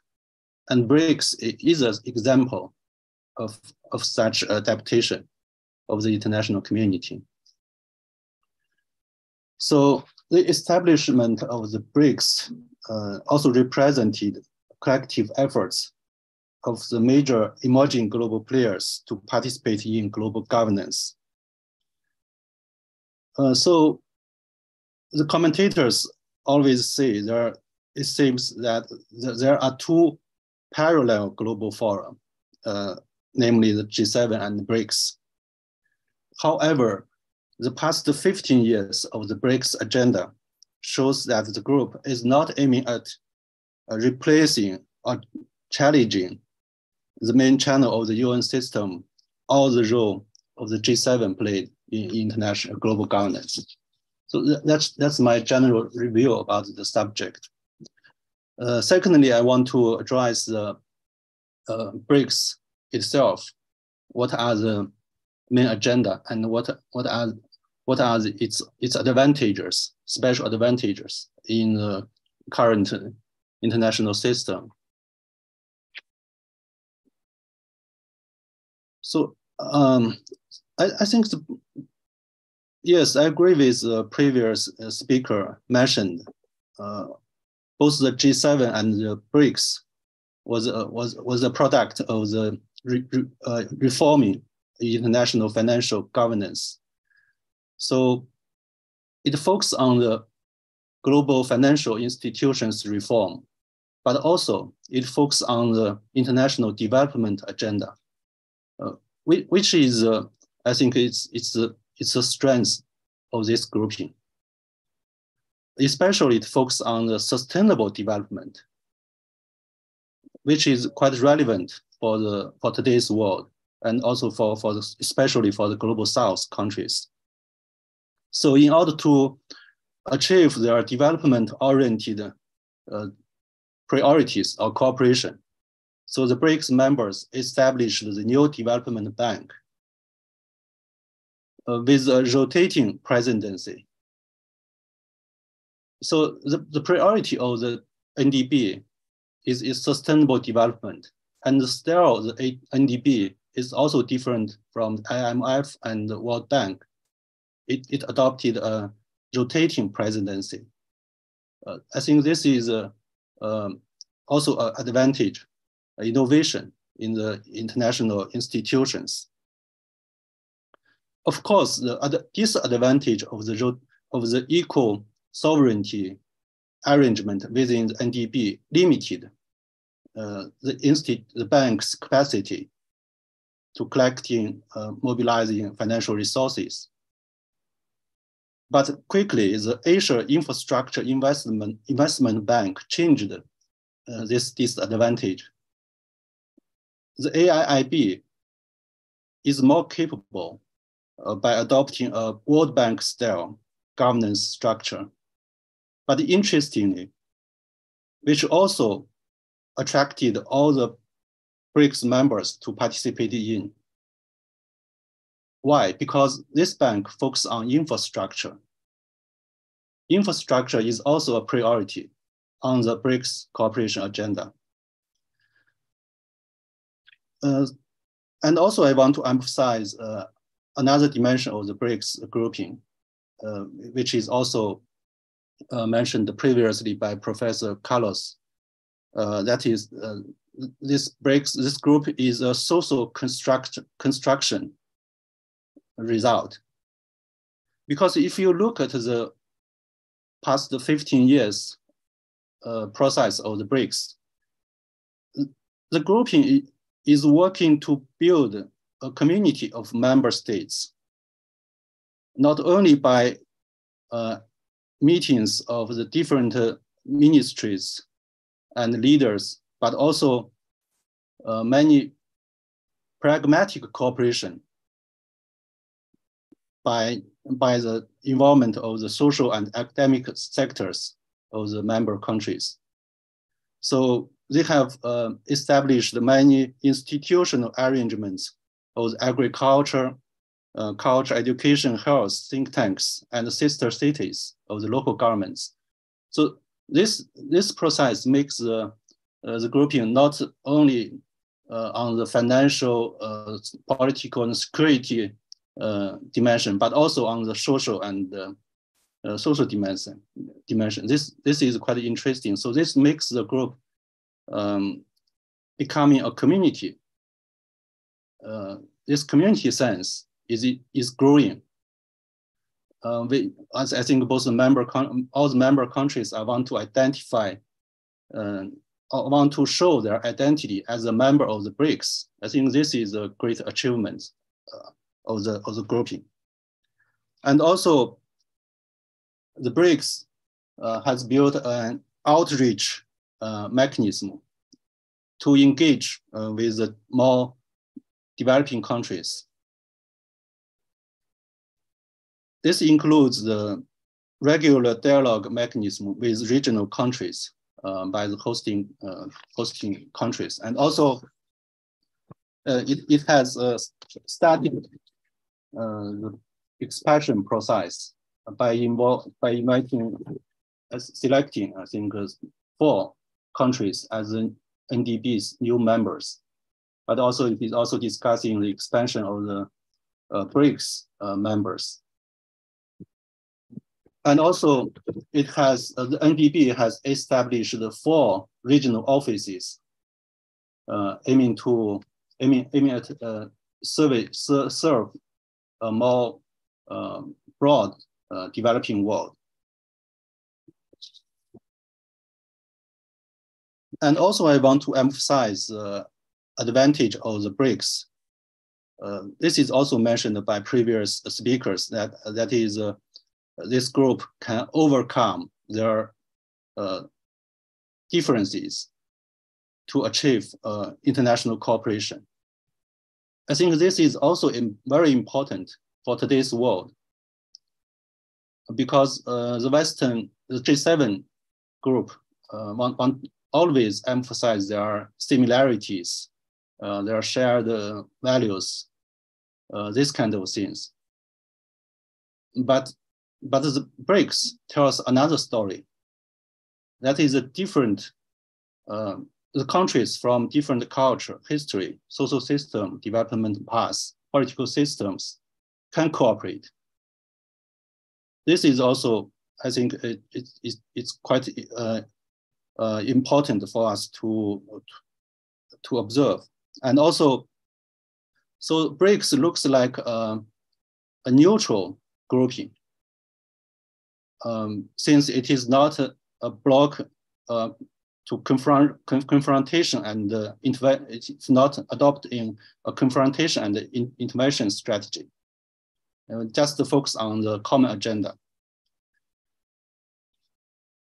So they, they have they have developed a very um, comprehensive cooperation agenda, not only in the global economic governance, but also on the security issues.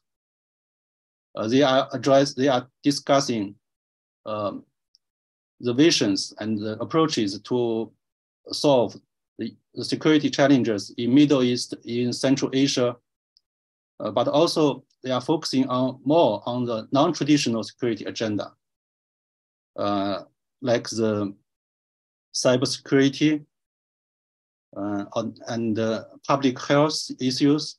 Uh, during the pandemic era, the NDB has done a lot in helping member states to deal with the public health crisis. But all in all, all, all the, despite all these achievements, uh, I, I, have to say uh, the BRICS uh, real influence on, in the global governance is quite limited. Uh, there are many, many reasons, but the potential for the BRICS to play a larger role uh, is quite huge. So my my um, my last part will be addressing China's um, uh, perspective on the BRICS. I think BRICS is just one of the multilateral platform for China. Uh, China has engaged all major multilateral uh, institutions. Because China committed itself to build a, community of the shared future for mankind, China alone cannot uh, make this work done. So it has to cooperate with others, to mobilize others' uh, willingness and resources to do that. So China needs to work with broad members of the international community via different multilateral tools. But as founding members, um, the multiple the multilateral platforms such as the G20, BRICS, uh, SCO, AIIB, etc. Uh, in the in these emerging institutions, China has a larger chance to practice its vision of multilateralism with like-minded countries, partners. Uh, as to the BRICS uh, cooperation, we can uh, review the three presidency um, initiatives of China uh, in 2011, 2018, and 2022. Um, when China hosting the BRICS uh, uh, chairmanship. So in 2011, China invite, invited South Africa to the to the table, which makes the grouping gives uh, gives the grouping a global dimension. I think th this is quite important for for the image of the grouping. And in the 2017, the Xiamen summit set up three pillars of the BRICS cooperation, namely the economics, trade, uh, finance and political security and culture exchanges, which makes, makes the uh, BRICS cooperation a community building. And also, uh, China initiated the BRICS Plus model, uh, which, which makes the BRICS can be accessible for the by the developing world. And in two, 2022, China emphasized the high quality partnership and global develop, development agenda for the groupings.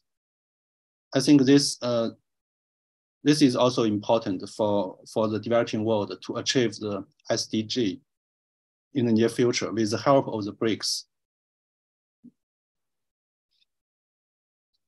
But but when when very interesting thing uh, for the BRICS exp expansion we discussed today, um, China doesn't worry too much about the expansion of the membership.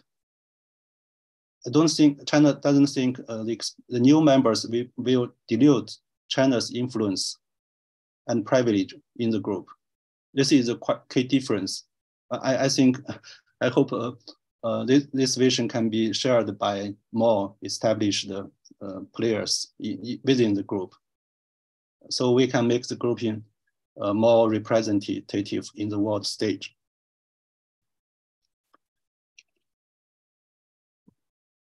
And uh, come, come to the, the term, the, the, subject of the multilateralism, I think uh, we, we already know there is a debate between China and uh, some Western countries about what is multilateralism. So China uses the term uh, true multilateralism what is the true multilateralism? Uh, this is uh, quite interesting, but I want to emphasize some elements of this concept. Uh, the first is uh, the multilateralism with BRICS or China style emphasize extensive consultation, joint contribution, and shared benefits. So it, it shall advocate openness and inclusiveness and oppose uh, isolation and exclusion. And I think the, the, the second character, may, characteristic of the concept is uh, it doesn't against the third party. And the third, maybe it's also the important uh, thing is, is not about multilateralism. It's about the aim of the multilateralism. It, it should give priorities to the demands of the developing countries. I think this, this maybe help us to understand what is the true multilateralism. But as Professor Carlos uh, mentioned at the very beginning, there are at least five uncertainties in the world stage. So that means today's world has changed a lot compared to the starting years of the BRICS. So how BRICS can adapt themselves itself to this new international situation. Uh, I, I, think um, maybe we should be a little bit still optimistic about the uh, resilience of this grouping. Uh, since uh, we uh, most of the bilateral, some of the bilateral relationship within the group is quite dynamic. For example, the Brazil-China relationship, and also China-Russia relationship, China's relationship with South Africa.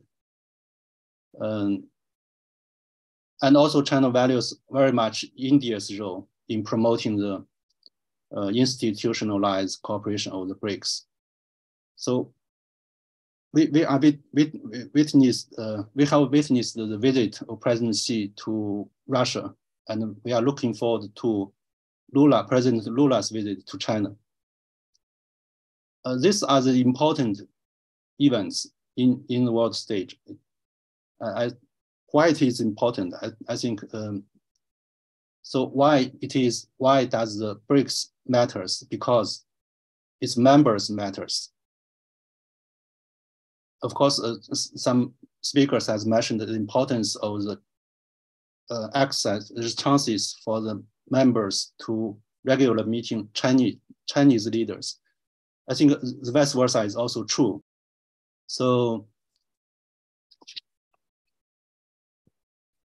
so, uh, so, uh, so because of all, all, all these reasons, I think um, the group, the group uh, will becoming more dynamic and promising uh, with China, uh, China's willingness to play a larger role and its uh, willingness to cooperate with uh, other members within the group.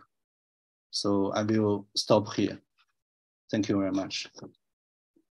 Thank you, Dr. Niu, for your optimistic view of the uh, adaptation of BRICS in the last 10 years. Thank you very much. It's good to know that for China, the expansion of BRICS does not necessarily is not necessarily seen as the uh, uh, uh, diluted uh, Chinese influence in the, in the groups, which is uh, good to know. So now I think we reached to a, a key point of our uh, of our discussion here. We're gonna open the floor to all members to make questions, to make comments on each other's presentations on the issues. I, I think Ambassador Sarquis is about to leave, so I think we could start with Ambassador Sarquis' uh, final words, just to. Thank you, Feliciano. Due to uh, unforeseen uh, ministerial commitments, I, I, I will have to leave, unfortunately. Uh, I, I, thank you for inviting me. I think many of us emphasized uh, issues about legitimacy, legitimacy, inclusivity versus exclusivity. I would say that even truly multilateral institutions, uh, they have concerns of this sort. Uh, the UN with the UN Security Council, uh, for instance. And this is why the idea of reforming multilateral institutions is key. And the groups such as G7, BRICS, G20, IBSA, and others are a part of the process, part of the multi multipolar evolving configuration uh, of the international uh, community. I myself, I think it's fundamental to consider working principles of multilateralism, uh, namely inclusivity, uh, so that everybody uh, has a chance to be on board and is being listening, listening to, and so on and so forth. Plurality, because when we say inclusivity, it doesn't mean identity, it doesn't mean uh, equality, equivalence in values and, and, and other uh, motivations and so on and so forth. So, inclusivity, plurality, uh, the notion of dialogue, the principle of dialogue uh, with plurality and inclusivity, and the willingness to cooperate. Cooperation is a fundamental principle of the Charter. I mean, these principles, they are key pillars of multilateralism. And I also think it's part of some of these groups. Uh, the BRICS, in particular, as a more heterogeneous group uh, than G7, uh, has, I think, these principles ingrained. Uh, of course, it's a process, it's a historical construct. And I think Elizabeth mentioned the Bali Declaration of the G20 as a successful outcome. I think she's right. It was thanks to those principles, principles of inclusivity, the idea of not canceling Russia from the G20, having Russia on board, accepting plurality, even in the hardest moments, because you have eventually to show you are responsible. When you say you are part of G20, you have systemic responsibilities. And your responsibilities are very much related to dialogue uh, in a pluralistic manner and to cooperate. And this is why I would focus on economic cooperation, uh, development as uh, the focus of G20 and BRICS. Uh, by continuing to do so, reforming multilateral institutions, strengthening the multilateral institutions through cooperation, dialogue. This is somehow also a contribution to peace, uh, to finding solutions. So this is my, my, my final message. I'm afraid I have to leave you. Uh, it's been uh, a fantastic opportunity to exchange. Thank you. Thank you, Ambassador Sarquis. It's a pleasure to have you here. And uh, we'll see again each other in many seminars here. Thank you. So now, as I mentioned, it is uh, 10.50 here in Brazil. So we still have, uh, if I'm not mistaken, one hour and 10 minutes for the for the discussion total. Uh, we don't need to use the entire uh, an hour and 10 minutes. Uh, I have made some a couple of questions, but maybe uh, Sir Oliver Letwin wants to uh, to to start. Uh, since he's uh, one of the organizers and make general comments or questions to the to the presenters, and then I, I'll give the word to Professor Carlos Milani, who started, and then we go uh, back. well, I, I don't want to make comments, but I would like to raise a, a question. I I hope you'll allow me to disrupt a bit your your uh, uh, agenda if I um, direct my questions, particularly at uh, at uh, Ranjan and Niu, uh, uh, to pursue what I think was a, a, revealed as a very interesting difference of perspective. I'd like to try to understand more. Um, I mean, it. Um, it, it's it's clear that both of you see BRICS as having a potential for uh, being a, uh, a, useful um, uh, organization for um, uh, advancing uh, areas of common interest and um, including particularly reform of institutions and, and, and achievement of SDGs and so on. It's also clear that um, uh, the, the, there's a difference uh, perspective in the sense that um, uh, China is is as uh, Ranjan was pointing out in many ways, uh, um, though not always, significantly larger than uh, the other uh, members. Uh, obviously, in population, India and China are roughly uh, comparable and are each much larger than the other members. But in terms of China's economy, its trading power, and, and in other respects, it is significantly larger than the than the other members. Um, and uh, I had very strongly the sense, uh, Ranjan, and what you were saying, that you see a an issue in BRICS being the question of how to maintain uh, uh, the, what some speakers have called genuine multipolarity, what others have talked about in terms of um, uh, equality uh, between the members, under circumstances in which there's this great big um, Chinese economy and smaller other economies uh, involved.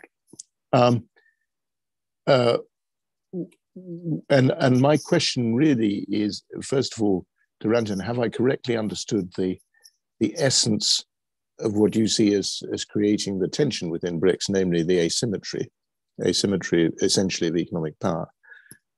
And secondly, to Niu, uh, do you recognize that as an issue?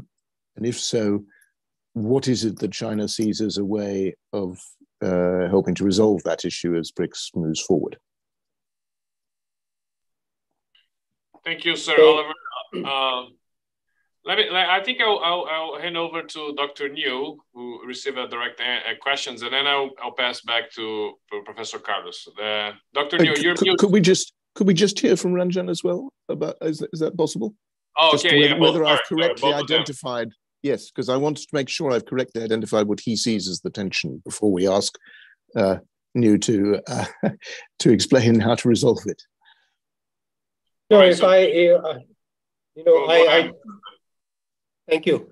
I was looking at the the processes by which BRICS functions uh, as a multilateral institution, which I thought was the aim of the, the, the seminar, as much as the substance and the outcomes of uh, how. Do I mean this question can be raised at every single one of us? If you are holding a seminar on managing multilateralism with India or with Brazil or with South Africa, you'd have similar kinds of uh, question marks raised, I, I would imagine. But this one was about managing multilateralism with China. So on processes, and I did mention that relative experience in the early phase was different from what is emerging in the last few years. And the specifics I cited of what all agreed um, both in the in the Beijing Declaration and in the Sherpa's uh, document, that you need to keep certain rules of the game, and you cannot deviate from them uh, in managing a multilateral institution. So the asymmetry is not of itself uh, important. It was important as a contributor to success, as I mentioned in the New Development Bank uh, when we agreed on equal voting shares. Now, similarly, if we want to reform the United Nations, you will have to look at greater uh, reform and greater equality among members. So that's why I didn't get into the debate about the UN at all, or the UN Security Council. I used examples of multilateralism where countries react, act on the basis of equality and reciprocity of treatment with mechanisms for you know managing any differences of, of opinion or, or, view. So that that is really the perspective from which I was speaking, uh, not about the, the, the substance of the outcomes.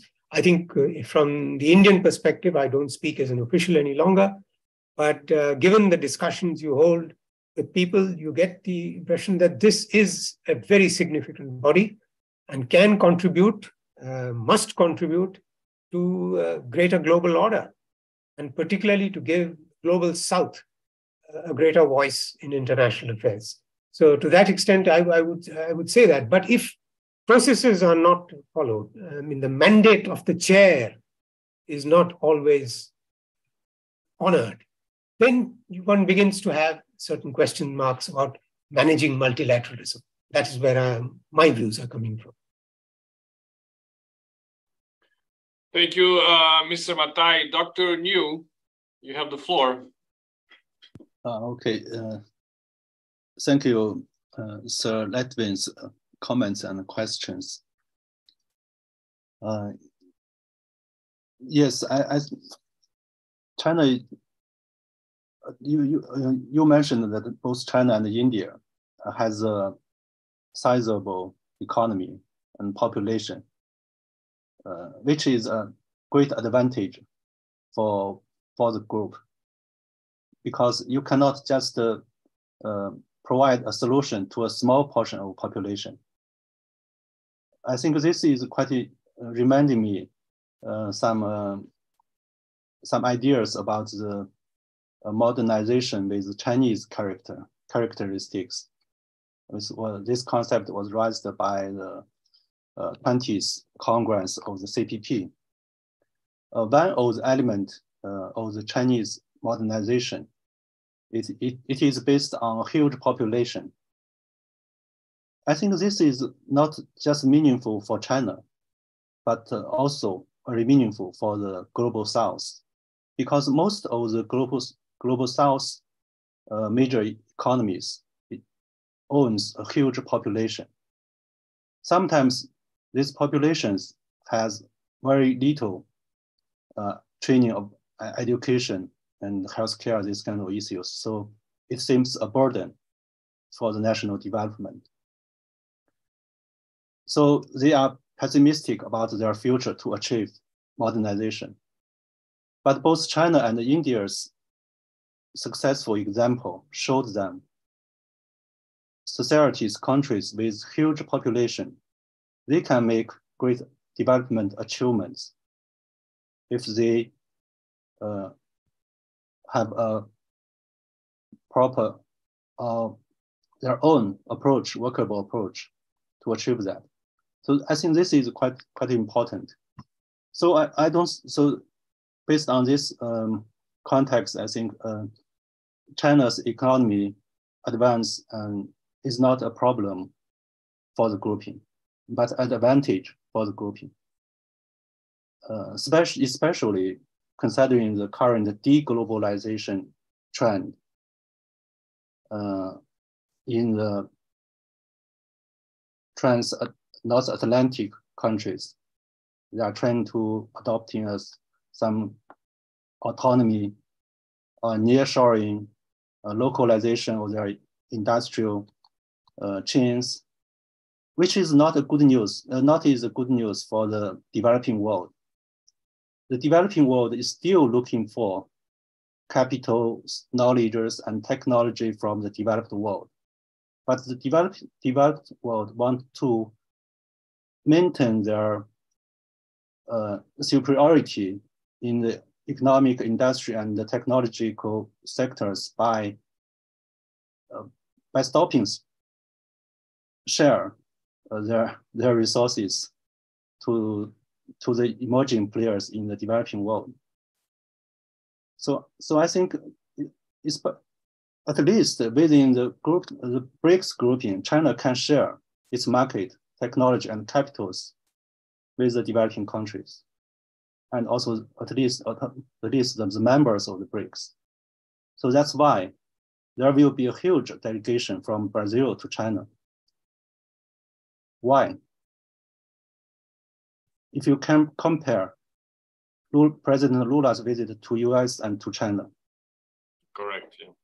That's that's the reality. That that is why uh, China doesn't treat its its superiority of the economy as a problem or challenge.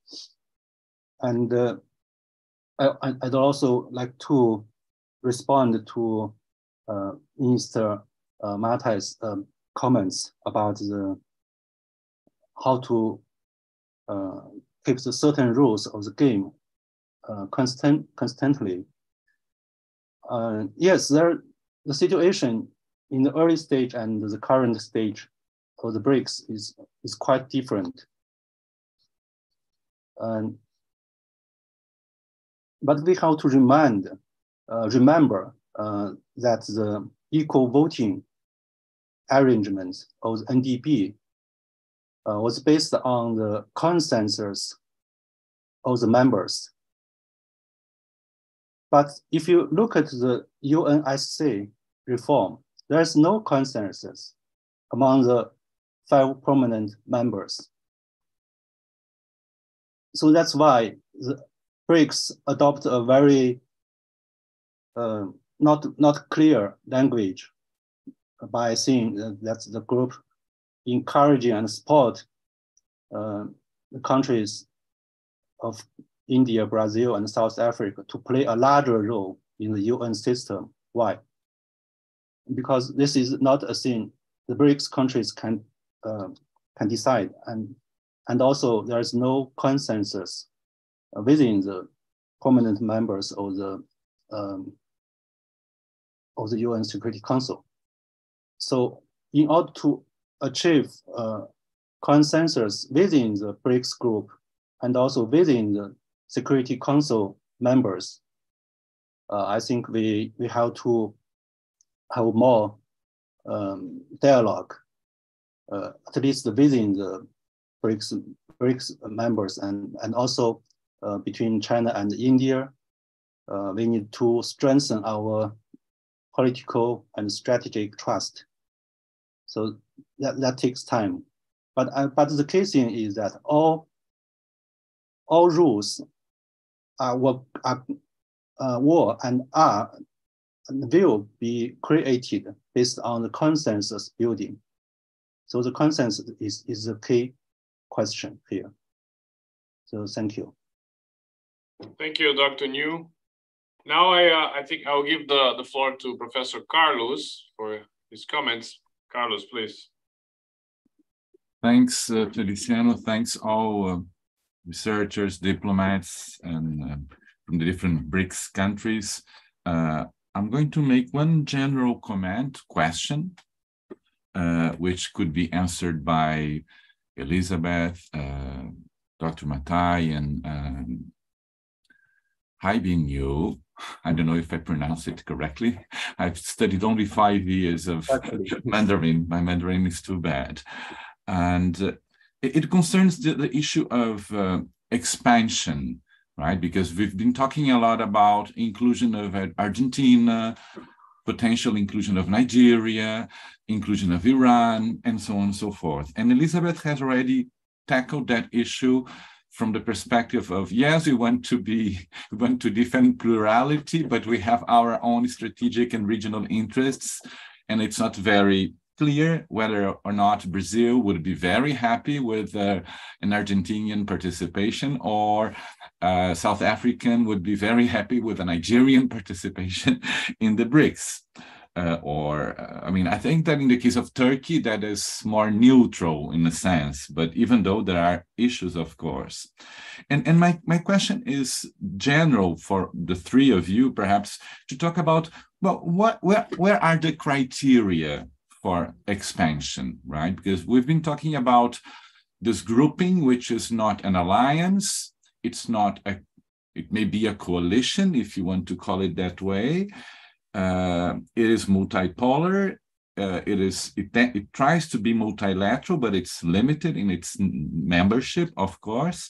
But if we expand it to, let's say, 15 countries, I mean, if we start expansion and, and, and if we have the inclusion of four, five, six, seven countries, okay, it's going to be more representative of this multipolar vision of the world and reality of the world, but based on which criteria? Because we have other groupings, right? I mean, we have uh, negotiating groupings where, I mean, many developing countries meet and uh, defend their strategic interests in different uh, um, uh, sectors trade, development, um, climate.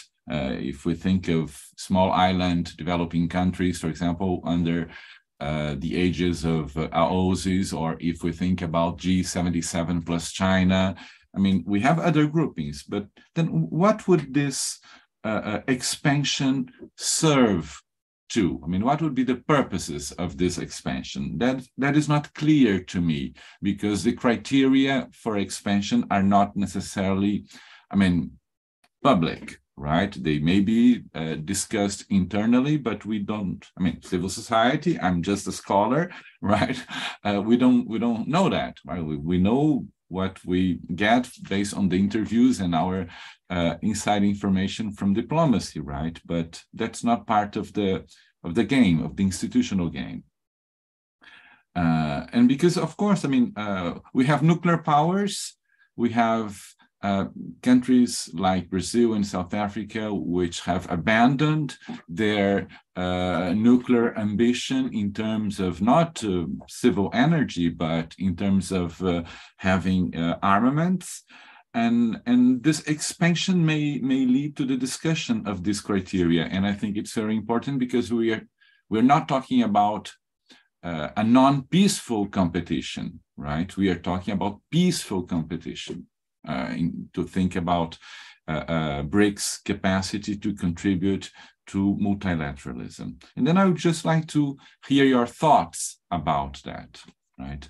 And and I have a, a, a, a precise question to uh, uh, Haibin Niu uh, concerning uh, China and Latin America, China and Brazil in particular, because so far it's only Brazil and America within the BRICS, right?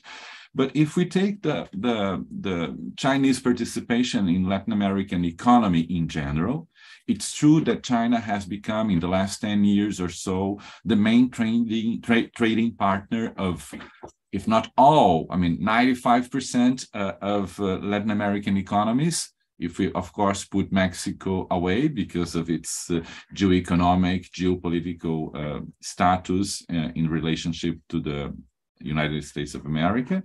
But the majority of all other Latin American countries, they have a very, I mean, important strategic trade relationship with China. The problem, however, is that China has been uh, indirectly uh, contributing to uh, a process that here in Latin America we have called the reprimarization of our exports. I mean, we have again, I mean, we have come back to our colonial periods, right? We are exporting uh, primary goods right? And, and and and that's not good for our political economies. That's not our that's not good for our environment either. That's not good for our tropical forests. That's not good for our biodiversity and so on and so forth. And then indirectly in a way if i may provoke you a little bit china has been contributing to some non-anticipated negative effects in our uh, political economies right? And then my question is, do you think that China and the BRICS group could uh, think of uh, and craft some uh, economic incentives to, uh, I mean, deviate this uh, economic processes and, uh, for example, contribute through the BRICS New Development Bank, for example, to the reindustrialization process uh, of key Latin American countries such as Brazil, Argentina, uh, and many others, where investment in uh, uh research uh, and knowledge and innovation would be extremely important, and sharing of technology would be extremely important. Uh, to avoid this maintenance, which is very problematic for Latin American countries, as main, mainly exporters of primary goods, right, and, and, and, commodities. I mean, if we want to change the, the role of Latin American countries in international political economy, then perhaps China could have uh, because of its size, as you recalled, its economic relevance, its demographic uh, extreme importance, China could definitely have a play and, and, and, and play a key role in that, in that regard. That these are my two general comments, questions, uh, Feliciano, for now. Thank, Thank you, Carlos. Um, so uh, I'll, I'll, I'll, give the floor to Dr. Elizabeth, so she, she can talk about expansion, and we go back to Dr. Niu about the role of China in Latin America. Dr. Elizabeth, please. Hi, just just just to also mention, since uh, uh, Ranjan did too, um, please don't put doctor in front. in my case as well. I should have said that right uh, at the beginning. I'm sorry. I, am giving out PhD diplomas like every. Uh, but I think, but, but I think both Ranjan and I are looking forward to coming to the award ceremony. So absolutely. uh, just on the issue, uh, I, I want before the um, before I touch on expansion, I want to make one observation in the context of uh, the extent to which you know, the concept of consensus, I think, is an interesting concept.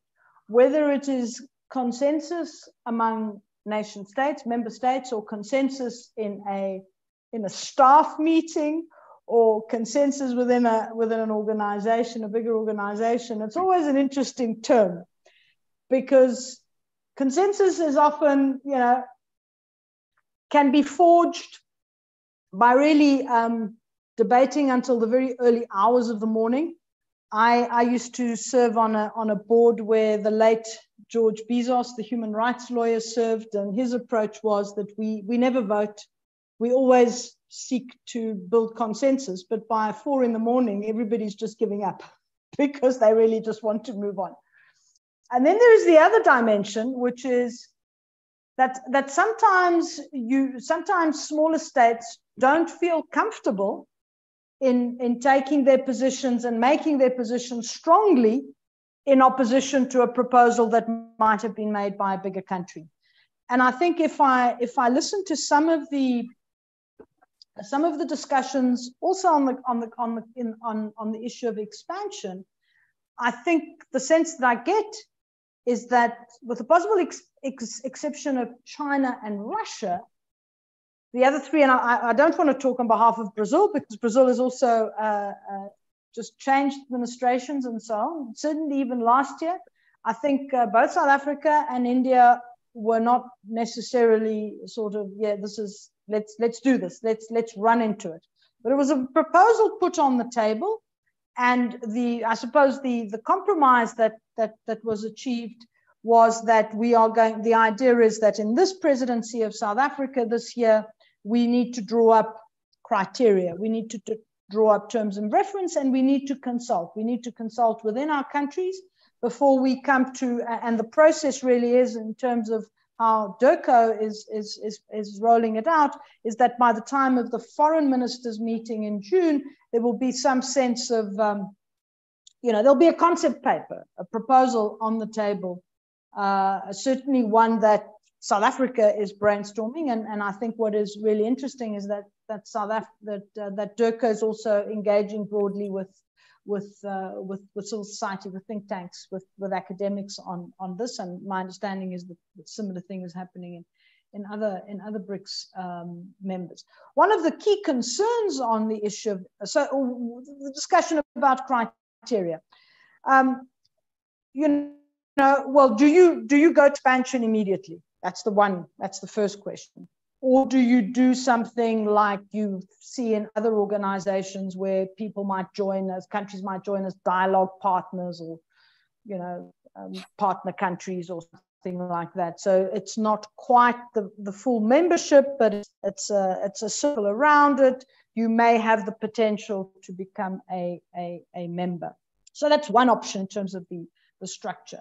Um, in terms of uh, um, uh, in terms of what the criteria should be, now that's that's the big that's the big elephant in, in the room. You clearly want to have a degree of, of regional representation.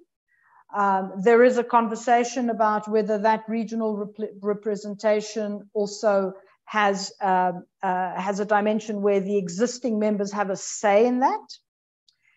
It is clearly also about, I think, given that the BRICS can play a, a, a, a, systemically important role in global governance reform. You're probably looking at criteria that would include uh, countries that, you know, even you know outside of the G20, but uh, or within the G20 that have a global perspective. But now that I'm I'm I'm sort of putting some some ideas out there that um, it's not just about sort of collaboration on South-South. The BRICS agenda is a bigger one than, than, than that. It is about countries that are engaged either regionally or globally in many of these, um, uh, these debates. I mean, you know, you, you pose, you, you raise an interesting question about, you know, nuclear issues and nuclear power states. You know, I think one of the uh, and, and that's going to be a difficult uh, thing to, to, to navigate. Uh, I think exactly because of the divisions, let's call them divisions you have within the BRICS um, already. Clearly, what has to be also part of the consideration is how bringing in certain countries might change the entire dynamic and focus of the discussions and of the BRICS and of the way in which they have worked out despite some challenges which have been highlighted today, they have worked out, you know, a culture of a sort of a modus operandi um, uh, within within the grouping. You bring in new people, new countries with with new interests, different perspectives, particular agendas.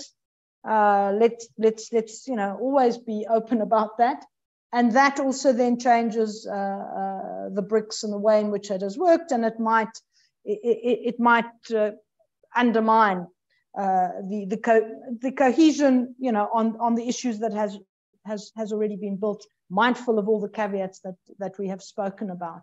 Um, so the, the thinking really is that we shouldn't rush into expansion.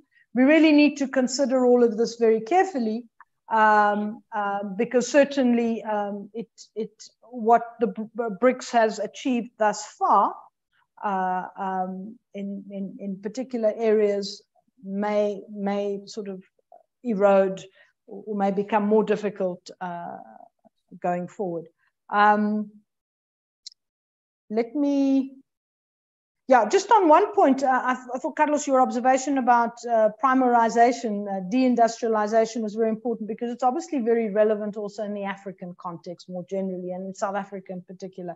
Uh, and, and it's not, uh, and, and, it's a number of causes in the case of South Africa, but, but clearly uh, we have witnessed a decline in our manufacturing uh, over, over a number of years. It's, it's, it's, much less important. Many industries have had to close down for all sorts of reasons. And so reindustrialization in the South African case and industrialization in the African case are very, very important. They are very, they're part and parcel of the idea behind the African continental free trade area. And clearly this is an area where members of the BRICS, particularly those who are strong in manufacturing, as, as you have indicated, can actually play uh, a role in helping in Africa to build regional value chains. That's what we're looking to build in the context of the continental free trade area. Thank you, Ms. Elizabeth, uh, for your for your talk. No, I got right. Uh, now I, I give back to Dr. Niu. Please, Dr. Niu, you have the floor. Thank you. I want to uh, respond to both uh, comments and questions uh, from Professor Carlos about the ex expansion and the China-Latin America relationship. Uh, as to the expansion issue, yes, you are right. I myself, I don't know um, what are the uh, criteria for, for the new members. And, uh, and also China doesn't um, publicly support, give, it, give its support to special countries uh, for, for, for this expansion. Uh, and also if you look at the, the four new members uh, of the NDB, it's also quite difficult to identify which country is China's favorite country.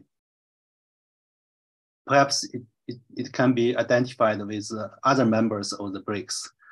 So, so this is very interesting and why we are talking about the expansion.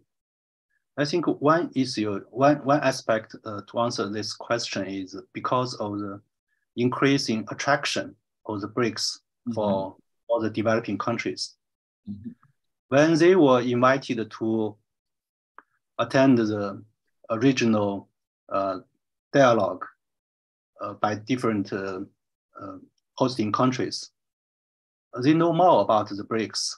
They know more what are what what the BRICS is doing.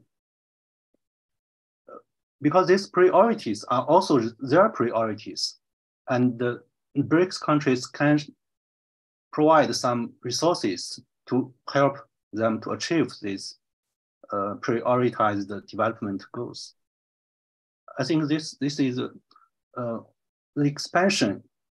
Uh, to start, the expansion process is a response of the BRICS group to the demands of the developing world. I think this, this is a dimension we cannot uh, overlook. But, but, the, but it's also difficult to say which one is a qualified candidate uh, for, the, for the new members because this is a decision-making process for the, the, member countries. So it depends on uh, the consensus to make a choice. And as, as to the China uh, Latin America relationship, um, yes, it, it's uh, it, it is mainly the countries like Brazil and Mexico have the concern of the deindustrialization. I think this concern was not shared broadly by the rest of the Latin American countries. Why? Because Mexico and Brazil have a strong domestic industrial basis sectors. But other Latin American countries, they don't have this. So they don't have the this kind of consensus concerns. But but if you look at the different sectors within Mexico, within Brazil, there is different prevent, pre, pre, prefer, preference uh, and uh, priorities in developing relations with China. Like the agriculture sector, the mining sector of Brazil, they want to export more and more to China and to India. But, but the people uh, from the industrial sector, they have a different view. They want to export to China, uh, like the plane, like this kind of things, car. But the lack of uh, competitiveness with their counterparts in Europe and the United States. So this is a business logic. But as, as members of the BRICS and uh, at the state level, we, we should do something to, to ease this concern and, and to achieve common development. That's, that's, that's what the strategic dialogue mechanisms between our two countries are doing, are discussing. So they have a 10 years time period of uh, planning for cooperation. I think a lot of the uh, contents of the cooperation is focusing on industrialization, uh, science and technology, innovation, uh, education, these kind of things. But the, the challenge is how to achieve the, the cooperation on the industrialization and the sustainable development. that, that's a real challenge. But uh, the good news is um, even the exports of Latin American countries of the raw material to China, they have more and more add, added values in these agricultural products, not raw materials, but maybe dairy, meat, um, and even organic foods. Very high price in China. And cherry from Chile is also very high price. So even the agriculture sector, there is a huge space for cooperation to improve uh, the health, uh, public health standards requirements. And, and the, the, the, the other side is, the good news is that China is not only importing products from Latin American countries, China is doing investment in Latin American countries. This is very important because the new generation Chinese companies, enterprises, they are focusing on green technology. And they, they have very strong um, norms of the social, uh, social responsibility, uh, this kind of things. So this new new generation companies from China in Latin America is, is getting more and more popular. Uh, companies like Huawei, like the State Grid, uh, and Didi, it's like Uber, these kind of companies. They are doing a great job in many Latin American countries by creating a lot of jobs and, uh, and also to help uh, the Latin American countries to improve their um, info, digital infrastructure. Of course, there are some uh, some people are criticizing China are building ports, railway, uh, road in Latin American countries for transport raw materials to China. I think this is uh, this that's that's not true because the exports, uh, the, the ports can be used by the Latin American countries to export to the rest of the world, not only to China. And if you if you look at the uh, long distance uh, transportation system of electricity in Brazil, this kind of infrastructure infrastructure is not aiming at exporting raw materials, but if it, is to improve the country's energy security and efficiency. Uh, many examples on this on that regard.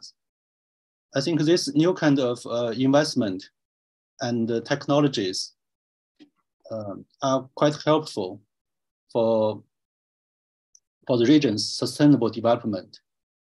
But the challenge now is beyond the economic logic because of the concerns of the security of the equipment of China's uh, cyber the, uh, companies like Huawei. But if you look at the records of Huawei's experiences of 20 years, nearly 20 years in Brazil, it, it, it, it serves the digitalization of the country quite well. And uh, if you agree uh, with the Western uh, countries' uh, suggestion to suspend the process of the 5G, adopting the 5G, then you will make the gap, digital gap, larger. But also, this not depends on China's decision. It depends on um, the choice of the, the region. So, uh, and also, if you look at the make the if you want to make the country's environment more sustainable, maybe the high-speed train uh, railway is a good choice for for the major cities of, of Brazil, uh, like Sao Paulo and Rio. Maybe there is a it's, it's, ideal uh, for for establishing a, railway uh, like the railway between China, China's Beijing and Shanghai it reduces a lot of cars, public transportations on roads. But you have uh, advantages in the. There will be a dream in Brazil to have a high-speed train between Rio and São Paulo, so I could go have a lunch with Carlos in two hours. Huh? But uh... yeah, yeah, but but you have a very developed air sector, and those yeah. they are opposing these kind of suggestions and ideas. So, so the challenge question now is the political decision of the federal and, and uh, state uh, governments to, is, to build this kind of infrastructure. Like the United States, it is promoting the infrastructure building now. So I, I, I think a lot of scholars are discussing why the United States and Latin America lack of uh, infrastructure. There are many reasons, not only because of China's rise, economic rise. China's technology is ready to serve your, your aim of the sustainable development. So I, I think we need more dialogue on, on this thing, this kind of cooperation. Thank you. Thank you, Dr. Niu. Just uh, the talk of the time in Brazil is how the BYD, which is an electrical car company from China, is buying the plant, the, the, the factory of Ford. Ford. Yes. Biggest, it was a Brazil's, was Ford biggest plant in Brazil, was located in Bahia state, but Ford left Brazil after being here for 70 years. And now BYD is probably buying the plant to manufacture in Brazil electrical cars, which is something that in Brazil is still lacking behind. Uh, I think uh, Mr. Mathai had raised his hand. I'll give the floor back to him. Mr. Mathai, please. Yeah, yeah. I thank you. I raised my hand because I thought the question was also addressed to me, but uh, somehow you missed me out. Uh, and also, unexpectedly, I will have to leave in about 15 minutes. So I would like to just mm, respond to two, three points, but I'll start with the question of expansion, which is where the question was um, um, directed to me. I think in principle, we do support expansion. Uh, right from the outset of the group, India was keen on South Africa's participation. But the experience of other international organizations, and look, we have stood outside the doors of organizations. Uh, you know, when I was an official, I have seen this process. It works both ways. The, organ- the members who are in the group would uh, need to be assured that new members will contribute to, be complementary to the current grouping, which, and BRICS has already built up a very, very dense agenda. And to manage all this is, is, is rather complicated already. We don't want to further complicate it. But there's a flip side to it.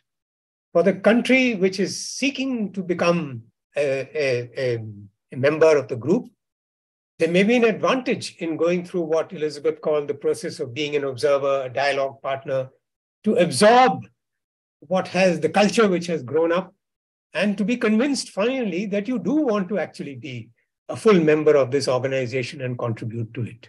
So I think it, it can it can work uh, both ways.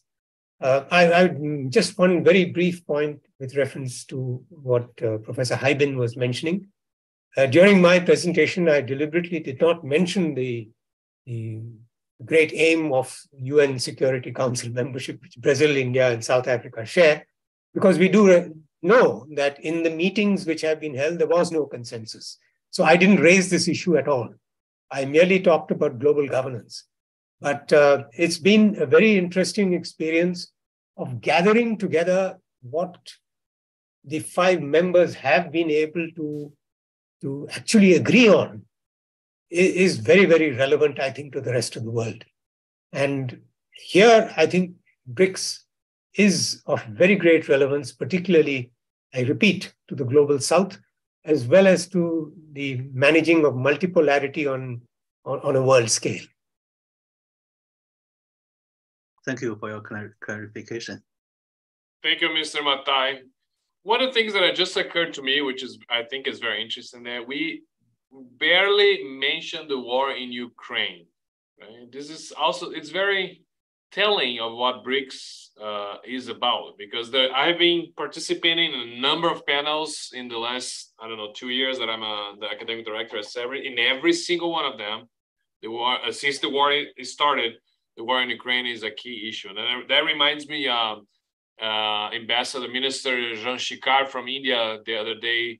He was questioning uh, uh, about uh, the role the role of India in the war in Ukraine. He said Europe has to learn that not every European problem is a world problem, right? and I think the fact that we have been discussing BRICS and many issues here for uh, an hour and 30 minutes, and we barely mention the war in Ukraine, which is every time in the news, is also telling how the interests of big big big countries are, are, are very different from the one in the West in general, right? I think this is uh, interesting.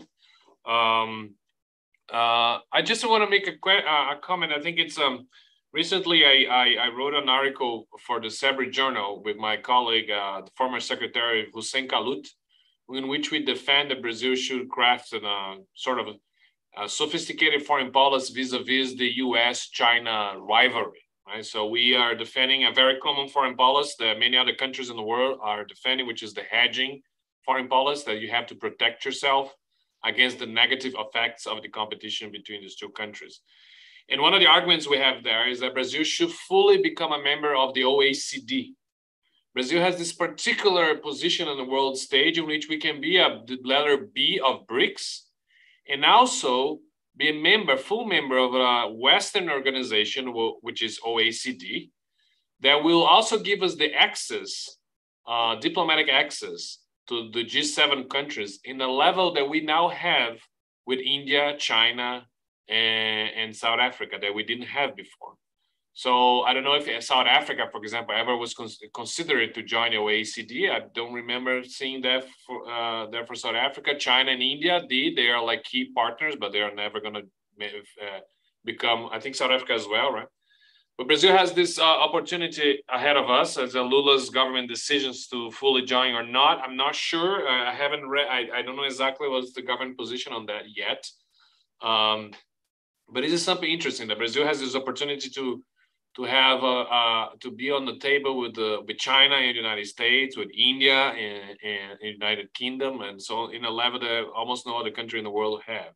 But that has some negative consequences or difficult consequences, which is uh, if we are very close to Western countries, like uh, uh we have to have, we are pressured to have a stronger, uh, like a closer position, a, a, position closer to Europe in the war in Ukraine, for example. So whatever position we have with Russia, we all have, will have to be balanced between these two.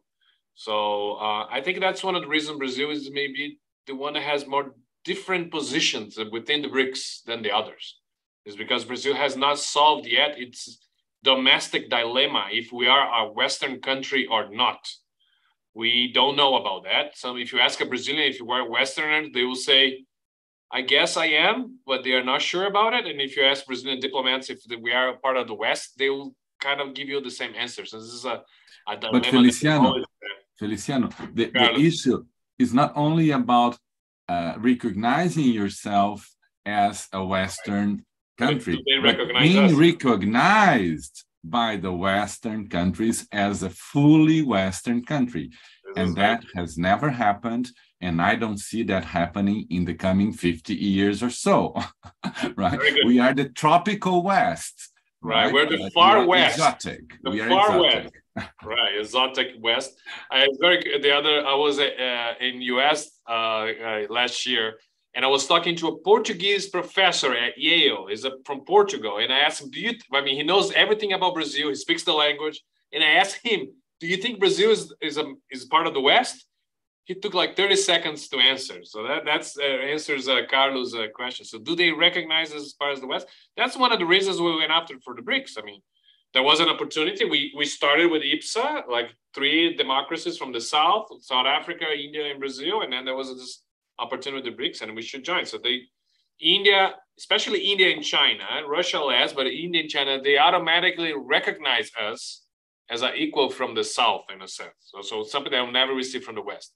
I think that continues to be. But also Brazil has this opportunity now with the OECD. I don't know what's going to happen. But this is part of the dilemma. So sometimes when I explain to my friends at BRICS why Brazil is a little different, it has to do with these our internal struggles, and also because it's a politicized issue in Brazil So if we get closer to BRICS or OECD, which is what is the role of Brazil in the world arena? I don't know if South Africa has the same dilemmas, but that's that was one of my comments. So. Do, do you want me to come in? Uh, yeah, Feliciano. Uh, so, so, so, yeah, so South Africa has been one of the um, engagement partners, I think they call them, of the OECD. I think our national treasury has found those interactions extremely useful, you know, very important uh, in terms of, of the financial architecture. Um, our perspective has been similar to, to that of Brazil, uh, at least before Brazil put on the table the possibility of joining the OECD.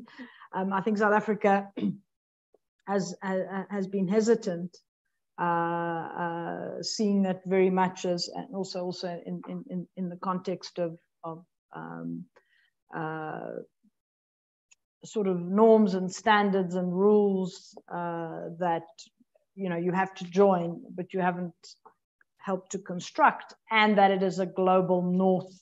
You know, South Africa rediscovered its global south only after the end of apartheid, of course. I mean, the ANC was uh, at the Bandung conference and you know keen on the non-aligned uh, movement, but that you know South Africa you know, if you asked the South African government before 94, they would, of course, we're a part of the West, but that was a very particular type of, uh, of regime. Uh, right. And now this is South Africa is very much part of the global South, and I think the, there are, you know, it hasn't. There's been no formal application to join the, the OECD, although it's an, it continues to engage with it. Uh, it's a very active member of the Development Center, of course, of the OECD but uh, but that's not on the agenda. The interesting thing uh, is that South Africa did apply to join the Paris Club, and that I think has a lot to do with the debt issue that we're facing on the continent and South Africa's engagement on that in the G20. Sir Oliver, I think you want to. No, no, I was uh, listening with fascination. I, did, I didn't have a I didn't have anything to contribute to that.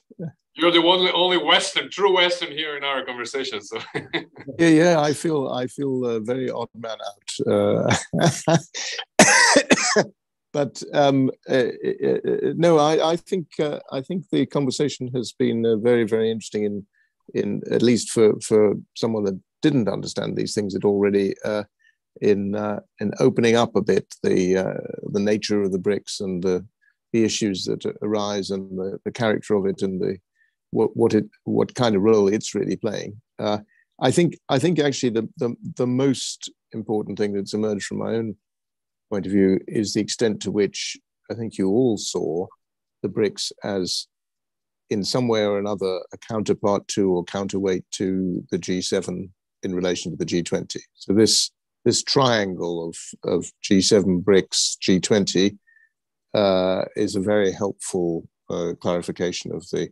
of the international scene. I think I, I, more and more think that the that the G20 is emerging as a as a, a, profoundly important part of the international architecture, even though it doesn't have a secretariat and it's it's not a formal treaty organization and so on. It was formed for a special purpose, but nevertheless, uh, actually uh, understanding the relationships between it, the G7 and BRICS, helps to anchor in my mind this this sense of the importance of the G20, and that that raises a whole other set of issues about how you manage a multipolar world. Um, but uh, so now I'm very grateful to everybody. I, I, I mean, uh, incidentally, I don't think we should feel we have to go on with this conversation to the bitter end. If, if we're if we're if we've reached a natural ending, we, we, we should end. Thank you. Thank you, sir. If I, think we're, we're, getting close to our. Um, can I, uh, Mr. Can I come in again? Yeah, because uh, we are coming to an end, I think. A very interesting observation which Oliver just made about the kind of relationship that BRICS has within the G20 uh, context. I didn't go into the G20 because the subject of our discussion was actually BRICS. But uh, since India is in the chair of the G20 just now, we're in the midst of hearing about G20 every day in the newspapers. And very interestingly, uh, it emerged that at the last meeting, here in Delhi. Uh, I mean, Ukraine obviously was uh, the, the elephant in the room, which created lack of consensus and so on. But there was another very interesting point that came out that they could not agree on how multilateralism should proceed. Should it be reformed multilateralism, which is what we keep talking about, or reinvigorated multilateralism?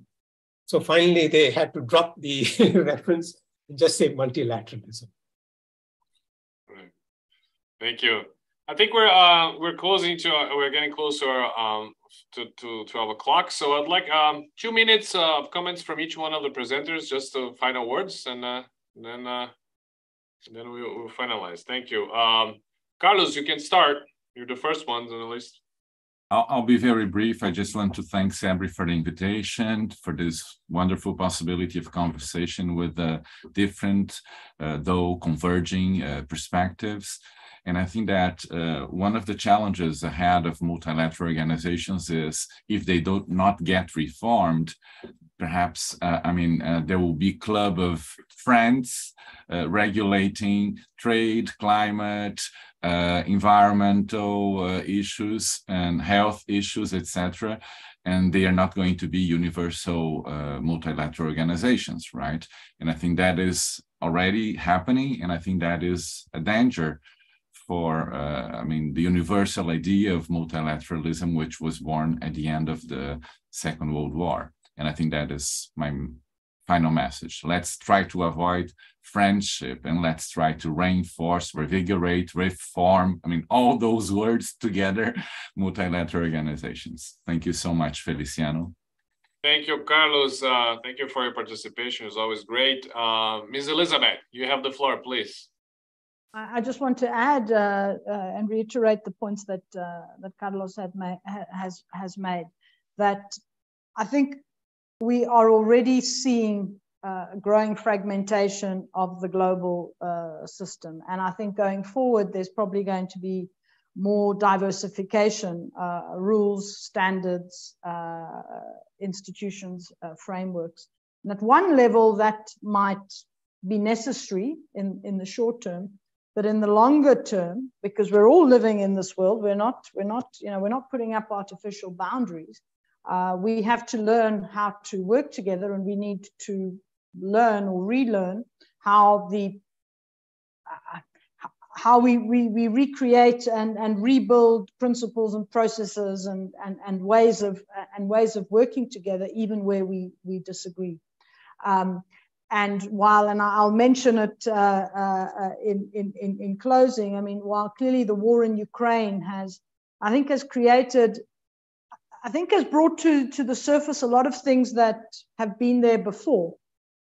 Um, I think it has also created an opportunity, and, and, wars are never, you know, should never be opportunities, uh, should never be uh, be presented as opportunities. But uh, but it, it's it's created uh, created a space for us to really rethink the issue of of cooperation and and the fact that um, how do we how do we overcome uh, uh, these and we don't overcome these these these challenges and difficulties by by not speaking to each other.